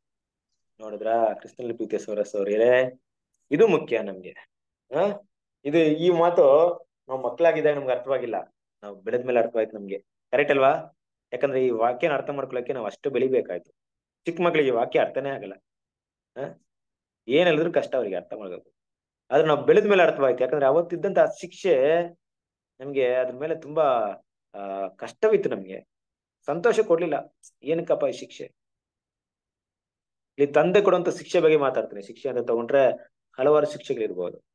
ಆದರೆ ದೇವರು ಇಡೀ ಲೋಕವನ್ನ ಸೃಷ್ಟಿ ಮಾಡಿ, ಈ ಲೋಕದಲ್ಲಿ ಕೆಟ್ಟದನ್ನ ಅನುಮತಿ ಮಾಡಿ ಭೂಮಿಯಲ್ಲಿ ಅವನು ಎಂಥವನಾಗಿರ್ಬೋದು ಎಂತ ಒಂದು ಕೆಟ್ಟ ಮನುಷ್ಯನಾಗಿರ್ಬೋದು, ಕ್ರೂರನಾಗಿರ್ಬೋದು, ಭೂಮಿಯಲ್ಲಿ ಏನ್ ಬೇಕಾದ್ರೆ ಕಷ್ಟವನ್ನು ಅನುಭವಿಸಬಹುದು. ಆದ್ರೆ ಆತನ ಯೋಜನೆಯಲ್ಲಿ, ದೇವರ ಯೋಜನೆಯಲ್ಲಿ ದೇವ್ರು ಮಾಡಿದಂತ ಸಂಕಲ್ಪದ ಮೇರೆಗೆ ಎಲ್ಲರಿಗೂ ಮತ್ತೆ ಏನ್ ಮಾಡ್ಬೇಕು? ಕ್ರಿಸ್ತನ ಕೃಪೆಯಿಂದ, ಕ್ರಿಸ್ತನ ಒಂದು ವಿಮೋಚನ ಬಲಿಯಿಂದ ಎಲ್ಲರೂ ಎದ್ದು ಬಂದು ನೀತಿನ ಕಲಿಬೇಕು ಅಂತ ಒಂದು ಪಾಠ ಮಾಡಿದ್ರಲ್ವಾ? ಆ ಪಾಠವನ್ನ ಸ್ವಲ್ಪ, ಆ ಒಂದು ಯೋಜನೆಯನ್ನ ಸ್ವಲ್ಪ ಅರ್ಥ ಮಾಡ್ಕೊಳ್ಳಿ. ದೇವ್ರು ಇಟ್ಟಿರುವಂತ ಯೋಜನೆ ಅರ್ಥ ಮಾಡ್ಕೊಳ್ಳಿ. ಇಲ್ಲಿರುವಂತ ಎಲ್ಲ ವಿಷಯ ಕೂಡ ಭೂಮಿ ಈ ಆರ್ ಸಾವಿರ ವರ್ಷ ಅನುಭವಿಸುವಂತ ಕಷ್ಟ ಏನಾಗಿದೆ ಅಂದ್ರೆ ಒಳ್ಳೇದಕ್ಕೆ ಆಗಿರುತ್ತೆ. ನೋಡಿ ದೇವರ ಪ್ಲಾನ್ ಅಲ್ಲಿ ಹಿಂಗೆ ಇದೆ. ಹಾಗಿರ್ಬೇಕಾದ್ರೆ ವೈಯಕ್ತಿಕವಾದಂತ ದೇವ್ರ ಮಕ್ಕಳ ಜೀವನವನ್ನು ತಗೊಳ್ರಿ. ಆಗಿರ್ಬೇಕಾದ್ರೆ ದೇವ್ರ ಮಕ್ಕಳು ನಮ್ಮ ಜೀವನದಲ್ಲಿ ನಡೆಯುವಂತ ಪ್ರತಿಯೊಂದು ವಿಷಯ, ಪ್ರತಿಯೊಂದು ಕಾರ್ಯ ಕೂಡ ಖಂಡಿತವಾಗ್ಲೂ ಆ ಸಮಯದಲ್ಲಿ ಸಂತೋಷವನ್ನ ಕೊಡಲ್ಲ ಕ್ರಿಸ್ತನಲ್ಲಿ ಪ್ರೀತಿಯ ಸರಸು. ತುಂಬಾ ಕಷ್ಟವನ್ನು ಕೊಡುತ್ತೆ. ಅಲ್ವಾ? ತುಂಬಾ ನೋವನ್ನು ಕೊಡುತ್ತೆ. ಕೆಲವೊಂದು ಟೈಮಲ್ಲಿ ಕೆಲವೊಂದನ್ನ ಸಗ್ಸಕ್ಕಾಗಲ್ಲ ಕಷ್ಟವಿರಬಹುದು ಅಲ್ವಾ? ಸಗಿಸ್ಬೇಕು ಕ್ರಿಸ್ತನ ಪ್ರೀತಿಯ ಸರಸ್ವರಿ ಆ ಸಗಿಸುವಂತ ಭಾವನೆ ಬೇಕು. ಅಲ್ವಾ? ನಾವು ಯಾವುದೇ ಒಂದು ಶಾರ್ಟ್ ಕಟ್ನ ಹುಡ್ಕಕ್ಕಾಗಲ್ಲ there is no any shortcut ಯಾವುದೇ ಒಂದು ಅಡ್ಡ ದಾರಿಯಲ್ಲಿ ದೇವರ ರಾಜ್ಯಕ್ಕೆ ಹೋಗೋಣ ಅಂತ ನಾವು ಇಷ್ಟಪಡಕ್ಕಾಗಲ್ಲ ಈ ಶಿಕ್ಷೆಗನ್ನ ನಾವು ಹೊಂದಲ್ಲಪ್ಪ. ಈ ಶಿಕ್ಷೆ ದಾರಿ ಬೇಡ ನನಗೆ. ಇದು ತುಂಬಾ ಕಷ್ಟ. ಆ ಸಮಯಕ್ಕೆ ತುಂಬಾ ಕಷ್ಟವನ್ನು ಕೊಡುತ್ತೆ ಅನ್ಬಿಟ್ಟು ನಾನು ಬೇರೆ ದಾರಿ ಹಿಡಿಯಕ್ಕಾಗಲ್ಲ ತುಂಬಾ ದೇವ್ರ ಮಕ್ಕಳನ್ನ ನಾನು ಗಮನಿಸ್ತಾ ಇರ್ತೀನಿ. ಏನಂದ್ರೆ ನನ್ನ ಒಂದು ಅನುಭವದಲ್ಲಿ ನಾನು ನೋಡುವಂತ ವಿಷಯ ಏನಪ್ಪಾ ಅಂದ್ರೆ ಸಭೆಗಳಲ್ಲಿ ಬಂದಿರ್ತೀವಿ. ಸಭೆಯಲ್ಲಿ ಸತ್ಯ ಕಳೀತಾ ಇರ್ತೀವಿ. ಸಭೆನ ನಾವು ಬಿಟ್ಟು ಹೋಗ್ತೀವಂದ್ರೆ ಎರಡು ಮುಖ್ಯವಾದ ಕಾರಣಗಳಿರ್ಬೇಕು. ಸೌರ ಸೌರ್ಯರ ಒಂದ್ ವೇಳೆ ನಮಗೆ ಅಲ್ಲಿ ಸತ್ಯ ಸರಿಯಾದ ಸತ್ಯ ಇಲ್ಲ. ಸತ್ಯವನ್ನು ತಪ್ಪಾಗಿ ಹೇಳ್ಕೊಡ್ತಾ ಇದ್ರೆ, ಸುಳ್ಳು ಬೋಧನೆಗಳಿದ್ದಾಗ ಇಲ್ಲವೇ, ನಾವು ಇರುವಂತಹ ದೂರದಿಂದ, ಆ ದೂರದ ಕಾರಣದಿಂದ ಏನ್ ಮಾಡ್ಬೋದು? ಇದಿದ್ರೆ ಅಲ್ಲಿರುವಂತ ಸಭೆಯನ್ನು ನಡೆಸೋರು. ಏನಾದ್ರೂ ದೊಡ್ಡ ದೇವರಿಗೆ ಸತ್ಯಕ್ಕೆ ವಿಷಯವಾದಂತ ವಿರುದ್ಧ ಪಾಕು ಕೃತಿಗಳನ್ನು ಮಾಡಿದಾದ್ರೆ ಆ ನಿರ್ಧಾರಗಳನ್ನ ತಗೊಳ್ಬೋದು. ಆದ್ರೆ ಸಣ್ಣ ಪುಟ್ಟ ಕಾರ್ಯಕ್ಕೆ ನಾವು ಸಭೆಗಳನ್ನ ಬಿಟ್ಟು ಹೋಗುವಂತ ದೇವರ ಮಕ್ಕಳ ಒಂದು ಒಡೆತನದಿಂದ, ಆ ಒಂದು ಸಂಬಂಧದಿಂದ, ಆ ಒಂದು ಐಕ್ಯತೆಯಿಂದ ಬಿಟ್ಟು ಹೋಗೋದಕ್ಕೆ ನಾವು ಪ್ರಯತ್ನ ಪಡ್ತೀವಿ ಅಂದ್ರೆ ಖಂಡಿತವಾಗ್ಲೂ ಅದು ಒಳ್ಳೇದು. ಇನ್ನು ಕೆಲವರು ಹಂಗೆ ಅಂತಾರೆ ಬ್ರದರ್, ಇಲ್ಲಿಲ್ಲ ಅಂದ್ರೆ ಏನ್ ಬ್ರದರ್, ನಾನು ಬೇರೆ ಕಡೆ ಹೋಗ್ತೀನಿ ಅಲ್ಲಿ ಇರ್ತೀನಿ ನಾನು ಕೆಲವೊಂದು ಪ್ರಶ್ನೆ ಇದೆ. ಎಲ್ಲೋದ್ರೆ ಏನಂತೆ ಒಂದನೇ ಕ್ಲಾಸ್ ನಾನು ಇಲ್ಲೋ ಅದನ್ನ ನಾನು ಬೇರೆ ಸ್ಕೂಲಲ್ಲಿ ಓದ್ತೀನಿ ಅಂದ್ರೆ ಅಲ್ಲೂ ಅದೇ ಸಿಲೆಬಸ್ ಅಲ್ವಾ? ಅಲ್ಲೂ ಅದೇ ಪಠ್ಯ ಪುಸ್ತಕ ಓದ್ಬೇಕಲ್ವಾ? ಈ ಒಂದನೇ ಕ್ಲಾಸಲ್ಲಿ ಅರ್ಧ ಮುಕ್ಕಾಲು ಓದ್ಬಿಟ್ಟು ನಾನು ಹೋಗಿ ಅಲ್ಲಿ ಹೋದ್ರೆ ಫಸ್ಟ್ ಇಂದ ಸೇರಿಸ್ಕೊಂಡು ಮತ್ತೆ ಸಮಯ ವ್ಯರ್ಥವಾಗುತ್ತಲ್ವಾ? ಹಾ? ಏನ್ ಮಾಡ್ಬೇಕಾಯ್ತು ದೇವ್ರ ಮಕ್ಳು? ಪಾಠವನ್ನ ಎಲ್ಲಿ ಕೊಡ್ತಾರೆ ದೇವ್ರು ಅಲ್ಲೇ ಕಲಿಬೇಕು. ಇಲ್ದಿದ್ರೆ ಮತ್ತೆ ಪಾಠನ ಆರಂಭದಿಂದ ಕಲಿಬೇಕಾಗುತ್ತೆ. ಅಲ್ವಾ? ಎಲ್ಲಾ ಕಾಲದಲ್ಲೂ ದೇವ್ರ ಏನ್ ಮಾಡ್ತಾರೆ? ಒಂದು ಒಂದು ಶಿಕ್ಷೆನ ಅಲ್ಲಿ ಕೊಟ್ಟಿರ್ತಾರೆ. ಕೆಲವೊಂದು ಟೈಮಲ್ಲಿ ಕೆಲವೊಂದು ಕಷ್ಟವಾಗುತ್ತೆ. ಇನ್ನು ತುಂಬಾ ಜನರು ಮಾತಾಡುವಂತ ವಿಷಯವನ್ನು ಕೂಡ ಗಮನಿಸಿರ್ತೀನಿ. ಆ ಬಾಬಿಲೋನಿಂದ ಇರ್ಬೇಕಾದ್ರೆ, ಅಂದ್ರೆ ಹೆಸರು ಕ್ರೈಸ್ತಲ್ಲಿ ಇರ್ಬೇಕಾದ್ರೆ ಏನು ಪ್ರೀತಿ ಬ್ರದರ್, ಏನ್ ಅನ್ಯತೆ ಇತ್ತು? ಎಷ್ಟು ಪ್ರೀತಿಯಾಗಿ ಅಲ್ಲಿ ಮಾತಾಡ್ತಿದ್ರು? ಯಾಕೆ ನಮ್ ಸಹೋದರ ಹತ್ರ ಇಲ್ವೇ ಇಲ್ಲ? ಆ ಪ್ರೀತಿನೇ ಕಾಣಿಸ್ತಾ ಇಲ್ಲ. ಕಾರಣ ಎಷ್ಟೇ ಸಹೋದರ ಸಹೋದರಿಯರೇ, ಬಾಬಿಲೋನಲ್ಲಿ ನಟನೆಯಾದಂತ ಪ್ರೀತಿನ ತೋರಿಸ್ತಾ ಇದ್ರು. ಆದ್ರೆ ಇಲ್ಲಿ ನಟನೆಯಾದ ಪ್ರೀತಿ ಅಲ್ಲ, ನಿಜ ಪ್ರೀತಿನ ತೋರ್ಸಕ್ಕೆ ನಾವು ಬಂದಿದ್ದೀವಿ. ನಾವು ಪ್ರೀತಿನ ಎದುರು ನೋಡಕ್ ಬರ್ಲಿಲ್ಲ. ಯಾರಾದ್ರೂ ನನಗೆ ಪ್ರೀತಿ ತೋರಿಸ್ತಾರಂತ ಬರ್ಲಿಲ್ಲ. ನಾನು ಪ್ರೀತಿ ತೋರಿಸ್ತೀನಿ ಅಂತ ಬಂದಿದ್ದೀನಿ. ಪ್ರಶ್ನೆ ನನಗೆ ಬರುತ್ತೆ, ನಾನ್ ತೋರಿಸ್ತಾ ಇದೀನಾ ಯಾರು ತೋರಿಸಿಲ್ಲ ಅಂತ ನಾನ್ ತೋರಿಸ್ತಾ ಇದೀನ ಅಲ್ವಾ? ನಾವು ಆ ಪ್ರೀತಿಗಳನ್ನ ತೋರಿಸಕ್ ವ್ಯಕ್ತಪಡಿಸಕ್ ಬಂದಿದ್ದೀವಿ. ಆ ಪ್ರೀತಿನ ಯಾವ ರೀತಿ ತೋರಿಸ್ತಾ ಇದೀನಿ ಪ್ರಶ್ನೆ ನಮ್ಗೆ ಕೇಳ್ಕೊಳ್ಳೋಣ. ಯಾವ ಸಮಯದಲ್ಲಿ ಯಾವ ರೀತಿ ತೋರಿಸ್ತಾ ಇದೀನಿ ಬೇರೆಯವ್ರ ಹತ್ರ ಎದುರು ನೋಡಿ ಆ ಪ್ರೀತಿನ ತೋರಿಸ್ತಾ ಇದ್ದೀನಿ. ಅವ್ರು ತೋರಿಸ ನಾನು ತೋರಿಸ್ತೀನ? ಇಲ್ಲ. ನನ್ನಲ್ಲಿರುವಂತ ಪ್ರೀತಿ ಯಾರು ಯಾರು ಯಾರು ಇದನ್ನ ಎದುರು ನೋಡ್ದೆ. ನಿಮ್ಮಿಂದ ಏನೋ ಬಂದ್ರೆ ನಾನು ಕೊಡ್ತೀನಿ ಅಂತ ರೀತಿ ಇಲ್ದೆ ನಾನೇ ಕೊಡ್ತೀನಿ. ಇದು ದೇವ್ರ ಪ್ರೀತಿ ಅಲ್ವಾ? ದೇವ್ರ ನಮ್ಮ ಹತ್ರ ಏನು ಎದುರು ನೋಡಿ ಕೊಡ್ಲಿಲ್ಲ ಪ್ರೀತಿ ಅಲ್ವಾ? ಹಾಗಾಗಿ ಇಂತಹ ಒಂದು ವಿಷಯಗಳೇನಾಗುತ್ತೆ ಅವರಿಗೆ? ಕೆಲವೊಂದು ಟೈಮಲ್ಲಿ ಕಷ್ಟವಾಗುತ್ತೆ. ಸಭೆ ಕುಡುವಿಕೆಲಿ ಇದೆಲ್ಲ ಕಷ್ಟವಾಗುತ್ತೆ. ತಗಸ್ಕೊಳ್ಳಕ್ಕೆ ಅವ್ರು ಇಷ್ಟಪಡಲ್ಲ. ಅವ್ರಿಗೆ ಎಕ್ಸೆಪ್ಟ್ ಮಾಡಿದಂತ ರೀತಿಯಲ್ಲಿ ಎಲ್ಲ ನಡಿಬೇಕು. ಅವ್ರು ಏನ್ ಎದುರು ನೋಡ್ತಾರೋ ಆ ರೀತಿ ಎಲ್ಲ ಇರ್ಬೇಕು. ಅವ್ರು ಹೇಳಿದ್ರು ಅವ್ರ ಆಸೆ ಪಟ್ಟ ರೀತಿಯಲ್ಲಿ ಎಲ್ಲ ನಡೆದು ಬಿಡ್ಬೇಕು. ಖಂಡಿತ ಇಲ್ಲ ಕ್ರಿಸ್ತಲ್ ಪ್ರೀತಿ ಸರ್. ಸೌರ್ಯರೇ ನಮ್ಮ ಆಸೆಗೋಸ್ಕರ ನಾವು ಬರ್ಲಿಲ್ಲ ಸಭೆಗೆ. ದೇವರ ಚಿತ್ತ ನೆರವೇರಿಸ ಬಂದಿದ್ದ ದೇವರು ಅಲ್ಲಿ ಯಾವ ಯಾವ ರೀತಿಯಾದಂತ ಒಂದು ಸಿಲೆಬಸ್ ಇಟ್ಟಿರ್ತಾರೆ ಅಂತ ನಮ್ಗೆ ಗೊತ್ತಾಗಲ್ಲ. ಮಕ್ಕಳು ಓದಾಗ ಗೊತ್ತಲ್ವಾ ನಿಮ್ಗೆ? ಮಕ್ಕಳಿಗೆ ಮ್ಯಾಥಮೆಟಿಕ್ಸ್ ಅಂದ್ರೆ ಅಲರ್ಜಿ ಗಣಿತ ಅಂದ್ರೆ ತುಂಬಾನೇ ಕಷ್ಟ. ಹಾಗಂತ ಮಕ್ಕಳು ಕಷ್ಟ ಪಡ್ತಾರ ಮಟ್ಟು ಸ್ಕೂಲಲ್ಲಿ ಗಣಿತ ಸಬ್ಜೆಕ್ಟ್ ತೆಗ್ದಾಕ್ಬಿಡ್ತಾರ? ಓದ್ಲೇಬೇಕು. ಓದಿದ್ರೆ ಮಾತ್ರ ಯಾವ ಮಕ್ಕಳು ಗಣಿತದಲ್ಲಿ ತುಂಬಾ ಆಸಕ್ತಿ ವಹಿಸಿ ಓದ್ತಾರೆ, ಒಳ್ಳೆ ರ್ಯಾಂಕ್ ಮಾಡಿಸ್ತಾ ಇತ್ತು ಅವಾಗ ತಾನೇ ಗೊತ್ತಾಗುತ್ತೆ. ಯಾರೋ ಮಗುಗೊಂದು, ಆ ಗಣಿತ ಲೆಕ್ಕ ಸರಿ ಇಲ್ಲ ಅಂದ್ಬಿಟ್ಟು ಅಲ್ಲಿಂದ ಆ ಸಿಲೆಬಸ್ನ ತೆಗ್ದ್ಬಿಡಕ್ಕಾಗುತ್ತಾ? ಸಭೆಯಲ್ಲೂ ಹಾಗೆ ಕ್ರಿಸ್ತನಲ್ಲಿ ಪ್ರೀತಿ ಸಹೋದರ ದೇವರ ಮಕ್ಕಳ ಮಧ್ಯದಲ್ಲೂ ಹಾಗೆ. ದೇವರು ಕೆಲವೊಂದು ವಿಷಯನ ಇಟ್ಟಿರ್ತಾರೆ, ಅದನ್ನ ತೆಗಿಯಲ್ಲ. ನಾವು ಅದನ್ನ ಜಯಿಸಿ ಅಲ್ಲಿಂದ ಪಾಸ್ ಆಗ್ಬೇಕು ಹೊರತು ದೇವರು ಇಲ್ಲಿ ಇಟ್ಟಿದ್ದಾರೆ ಇಲ್ಲಿ ಯಾವ್ದು ಬೇಕಾಗಿತ್ತು, ಈ ಟೀಚರ್ ನನಗೆ ಸರಿಯಾಗಿ ಸಬ್ಜೆಕ್ಟ್ ಮಾಡ್ತಾ ಇಲ್ಲ, ಈ ಸ್ಕೂಲ್ ನನಗೆ ಸರಿ ಇಲ್ಲ, ನಾನು ಬೇರೆ ಕಡೆ ಹೋಗ್ತೀನಿ ಅಲ್ಲೂ ಕೂಡ ಅದೇ ಲೆಕ್ಕ ಪುಸ್ತಕ ಇರುತ್ತೆ, ಅದೇ ಸಿಲೆಬಸ್ ಇರುತ್ತೆ. ಯಾವುದೇ ಕಾರಣಕ್ಕೆ ಏನಾಗಲ್ಲ, ಬದಲಾವಣೆ ಆಗಲ್ಲ. ಸೊ ದೇವ್ರ ಮಕ್ಕಳು ಇಲ್ಲಿ ವಿಷಯವನ್ನ ಅರ್ಥ ಮಾಡ್ತಾರೆ. ಆ ಶಿಕ್ಷೆ, ಆ ವಿಷಯಗಳು ತಾತ್ಕಾಲಿಕವಾಗಿ ಕಷ್ಟ ಅನಿಸ್ಬಹುದು. ನಮ್ಮ ಜೀವನದಲ್ಲಿ ಬರುವಂತ ಕೆಲವೊಂದು ವಿಷಯ ಕಷ್ಟ ಅನಿಸ್ಬಹುದು. ಆದ್ರೆ ತರವಾಗಿ ನೀವು ಅದ್ರಲ್ಲಿ ಬೆಳೀತಾ ಬೆಳೀತಾ ಕೆಲವೊಂದು ವಿಷಯಗಳಲ್ಲಿ ನೀವು ಅನುಭವಸ್ಥರಾಗ್ತಾವೋ, ಈ ರೀತಿಯಂತ ಒಂದು ವಿಷಯ ಬಂದಾಗ ನಾನು ಇದನ್ನ ಈ ರೀತಿ ಹ್ಯಾಂಡಲ್ ಮಾಡ್ಬೇಕಾಗುತ್ತೆ. ನನಗೆ ಈ ರೀತಿ ಗುಣಗಳನ್ನ ತೋರಿಸ್ಬೇಕಾಗುತ್ತೆ. ಒಂದಿಲ್ಲ ನನಗೆ ಈ ರೀತಿ ಗುಣಗಳನ್ನ ತೋರಿಸ್ಬಿಟ್ರೆ ಆದ್ರೆ ಅದು ಕಷ್ಟವಾಗುತ್ತಾನಂತ ಒಂದು ವಿಷಯವನ್ನ ನೀತಿಯ ಪಾಠವನ್ನ ಏನ್ ಮಾಡ್ತೀವಿ? ಕಲಿತೀವಿ. ಅದು ನೀತಿಯ ಫಲವನ್ನ ಕೊಡುತ್ತೆ. ಹಾಗೆ ಮುಂದುವರಿತಾ ಮುಂದುವರಿತಾ ಒಂದು ಟೈಮ್ ಬಂದಾಗ ನೀವು ಅಲ್ಲಿಂದ ನೋಡ್ತೀರಾ? ಏನ್ ಯಾವ ರೀತಿ ನೋಡ್ತೀರಾ ಗೊತ್ತಾ? ನೀವು ನೀವ್ ಅಂದ್ರಲ್ಲ, ಆ ಒಂದು ಸ್ಟೇಜ್ಗೆ ಅಲ್ಲೊಬ್ಬ ಸಹೋದರಿ ಬಂದಿರ್ತಾರೆ. ಅಲ್ಲೊಬ್ಬ ಸಹೋದರಿ ಬಂದಿರ್ತಾರೆ. ಅವರು ನಿಮ್ ತರ ಕಷ್ಟವನ್ನು ಅನುಭವಿಸ್ತಾರೆ. ಅಲ್ಲಿ ಏನ್ ಮಾಡ್ಬೇಕಂತ ಗೊತ್ತಾಗಲ್ಲ ಅವ್ರಿಗೆ. ಅವಾಗ ನೀವು ಅದನ್ನ ಗಮನಿಸ್ತೀರಾ? ಗಮನಿಸಿ, ನೀವು ಕೊಡುವಂತ ಒಂದು ಆಲೋಚನೆ ಇರುತ್ತಲ್ಲ ಅಷ್ಟು ಒಳ್ಳೆ ಆಲೋಚನೆ ಆಗಿರುತ್ತೆ. ಯಾಕಂದ್ರೆ ನೀವು ಅದನ್ನ ದಾಟ್ ಬಂದಿರ್ತೀರಾ. ಆ ಒಂದು ವಿಷಯವನ್ನ ಓವರ್ಕಮ್ ಬಂದಿರ್ತೀರಾ. ಆದ್ರೆ ನೀವೇ ಅದ್ರಲ್ಲಿ ಫೇಲ್ ಆಗ್ಬಿಟ್ಟು ಅವ್ರಿಗೆ ಏನ್ ಎಜುಕೇಶನ್ ಕೊಡ್ತೀರಾ? ನೀವು ಆ ಒಂದು ವಿಷಯಗಳಲ್ಲಿ ನೀವು ಹೋಗಿ ಅದನ್ನ ಕರೆಕ್ಟ್ ಆದ ರೀತಿಯಲ್ಲಿ ಅದನ್ನ ನಿಭಾಯಿಸಿ, ದೇವ್ರು ಕೊಡಂತ ಒಂದು ವಿಷಯಗಳನ್ನ ನೀವು ಅನುಸರಿಸಿ ಫಾಲೋ ಮಾಡಿ, ಕಷ್ಟವನ್ನ ಸಗಿಸ್ಕೊಂಡು ಹೊರಡೆ ಬರ್ದೆ ಒಬ್ರಿಗೆ ಏನಂತ ನೀವೇನ್ ಮಾಡ್ತೀರಾ? ಗೈಡ್ ಮಾಡಕ್ಕಾಗುತ್ತೆ, ಆಲೋಚನೆ ಕೊಡಕ್ಕಾಗುತ್ತೆ. ವ್ಯರ್ಥ. ಆಗಲ್ಲ. ದೇವ್ರು ನಮ್ಮನ್ನ ಆ ರೀತಿ ಕರಿತಾ ಇದ್ದಾರೆ ಇವತ್ ನಮ್ಗೆ ಅನುಭವನ ಕೊಟ್ಟು ಮುಂದಿನ ದಿನಗಳಲ್ಲಿ ಅಂತ ಒಂದು ಸಮಸ್ಯೆಗಳಿಂದ ಬಂದವನ್ನ ಹೇಗೆ ಕಾಪಾಡುವಂತ ಒಂದು ಅನುಭವದ ಕಡೆ ನಡೆಸ್ತಾ ಇದ್ದಾರೆ ಹಾಗಿರ್ಬೇಕಾದ್ರೆ ದೇವ್ರ ಮಕ್ಳು ಇದನ್ನ ಅರ್ಥ ಮಾಡ್ಕೊಬೇಕಾಗಿದೆ. ಈ ಶಿಕ್ಷೆ ಇವತ್ತು ನನಗೆ ಕಷ್ಟ ಅನಿಸ್ಬೋದು. ಸಂತೋಷವಿಲ್ಲದೆ ಇರ್ಬೋದು. ಆದ್ರೆ ನಾನು ಬೆಳೀತಾ ಬೆಳಿತಾ, ನನ್ನ ಶಿಕ್ಷೆನ ಪಳಗ್ತಾ ಪಳಗ್ತಾ, ಅದನ್ನ ಅಭ್ಯಾಸ ಮಾಡ್ತಾ ಮಾಡ್ತಾ ಅದರ ನಿಜ ವಿಷಯ ನನ್ಗೆ ಗೊತ್ತಾಗುತ್ತೆ. ಅದರಿಂದ ಹೇಗೆ ಹೊರಗಡೆ ಬರೋದಂತ ಗೊತ್ತಾಗುತ್ತೆ. ಆ ಶಿಕ್ಷೆ ನನಗೆ ಯಾವ ಪಾಠವನ್ನ ಕಲಿಸ್ಕೊಡುತ್ತೆ ಅಂತ ಗೊತ್ತಾಗುತ್ತೆ. ಆ ಶಿಕ್ಷೆಯಿಂದ ನಾನು ಏನ್ ಗುಣಗಳನ್ನ ಬೆಳೆಸ್ಕೊಳ್ತೀನಿ ಅಂತ ಗೊತ್ತಾಗುತ್ತೆ.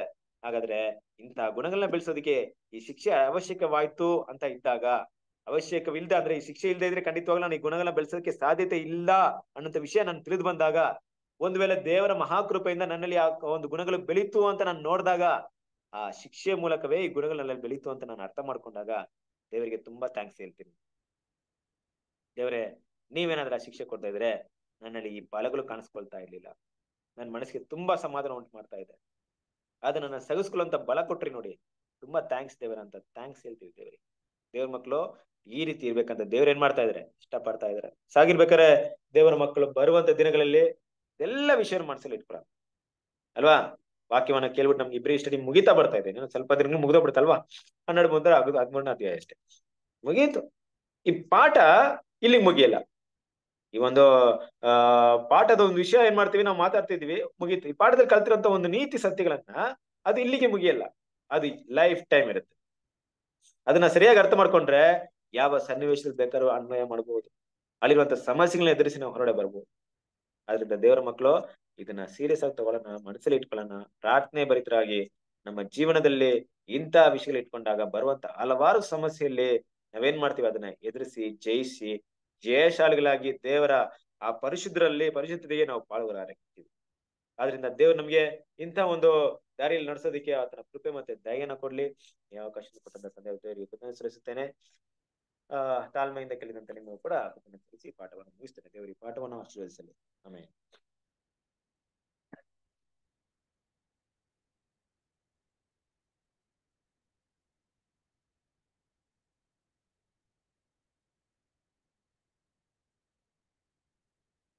ಇಷ್ಟರಲ್ಲಿ ಪ್ರೀತಿಯ ಸೌರ ಸರಿ ನನ್ನ ವಾಯ್ಸ್ ಕೇಳಿಸ್ತಾ ಇದೆ ಎಲ್ರಿಗೂ? ರೆಕಾರ್ಡ್ ಹಾ ಅಂತ ರೆಕಾರ್ಡ್ ಆಫ್ ಮಾಡ್ತೀನಿ.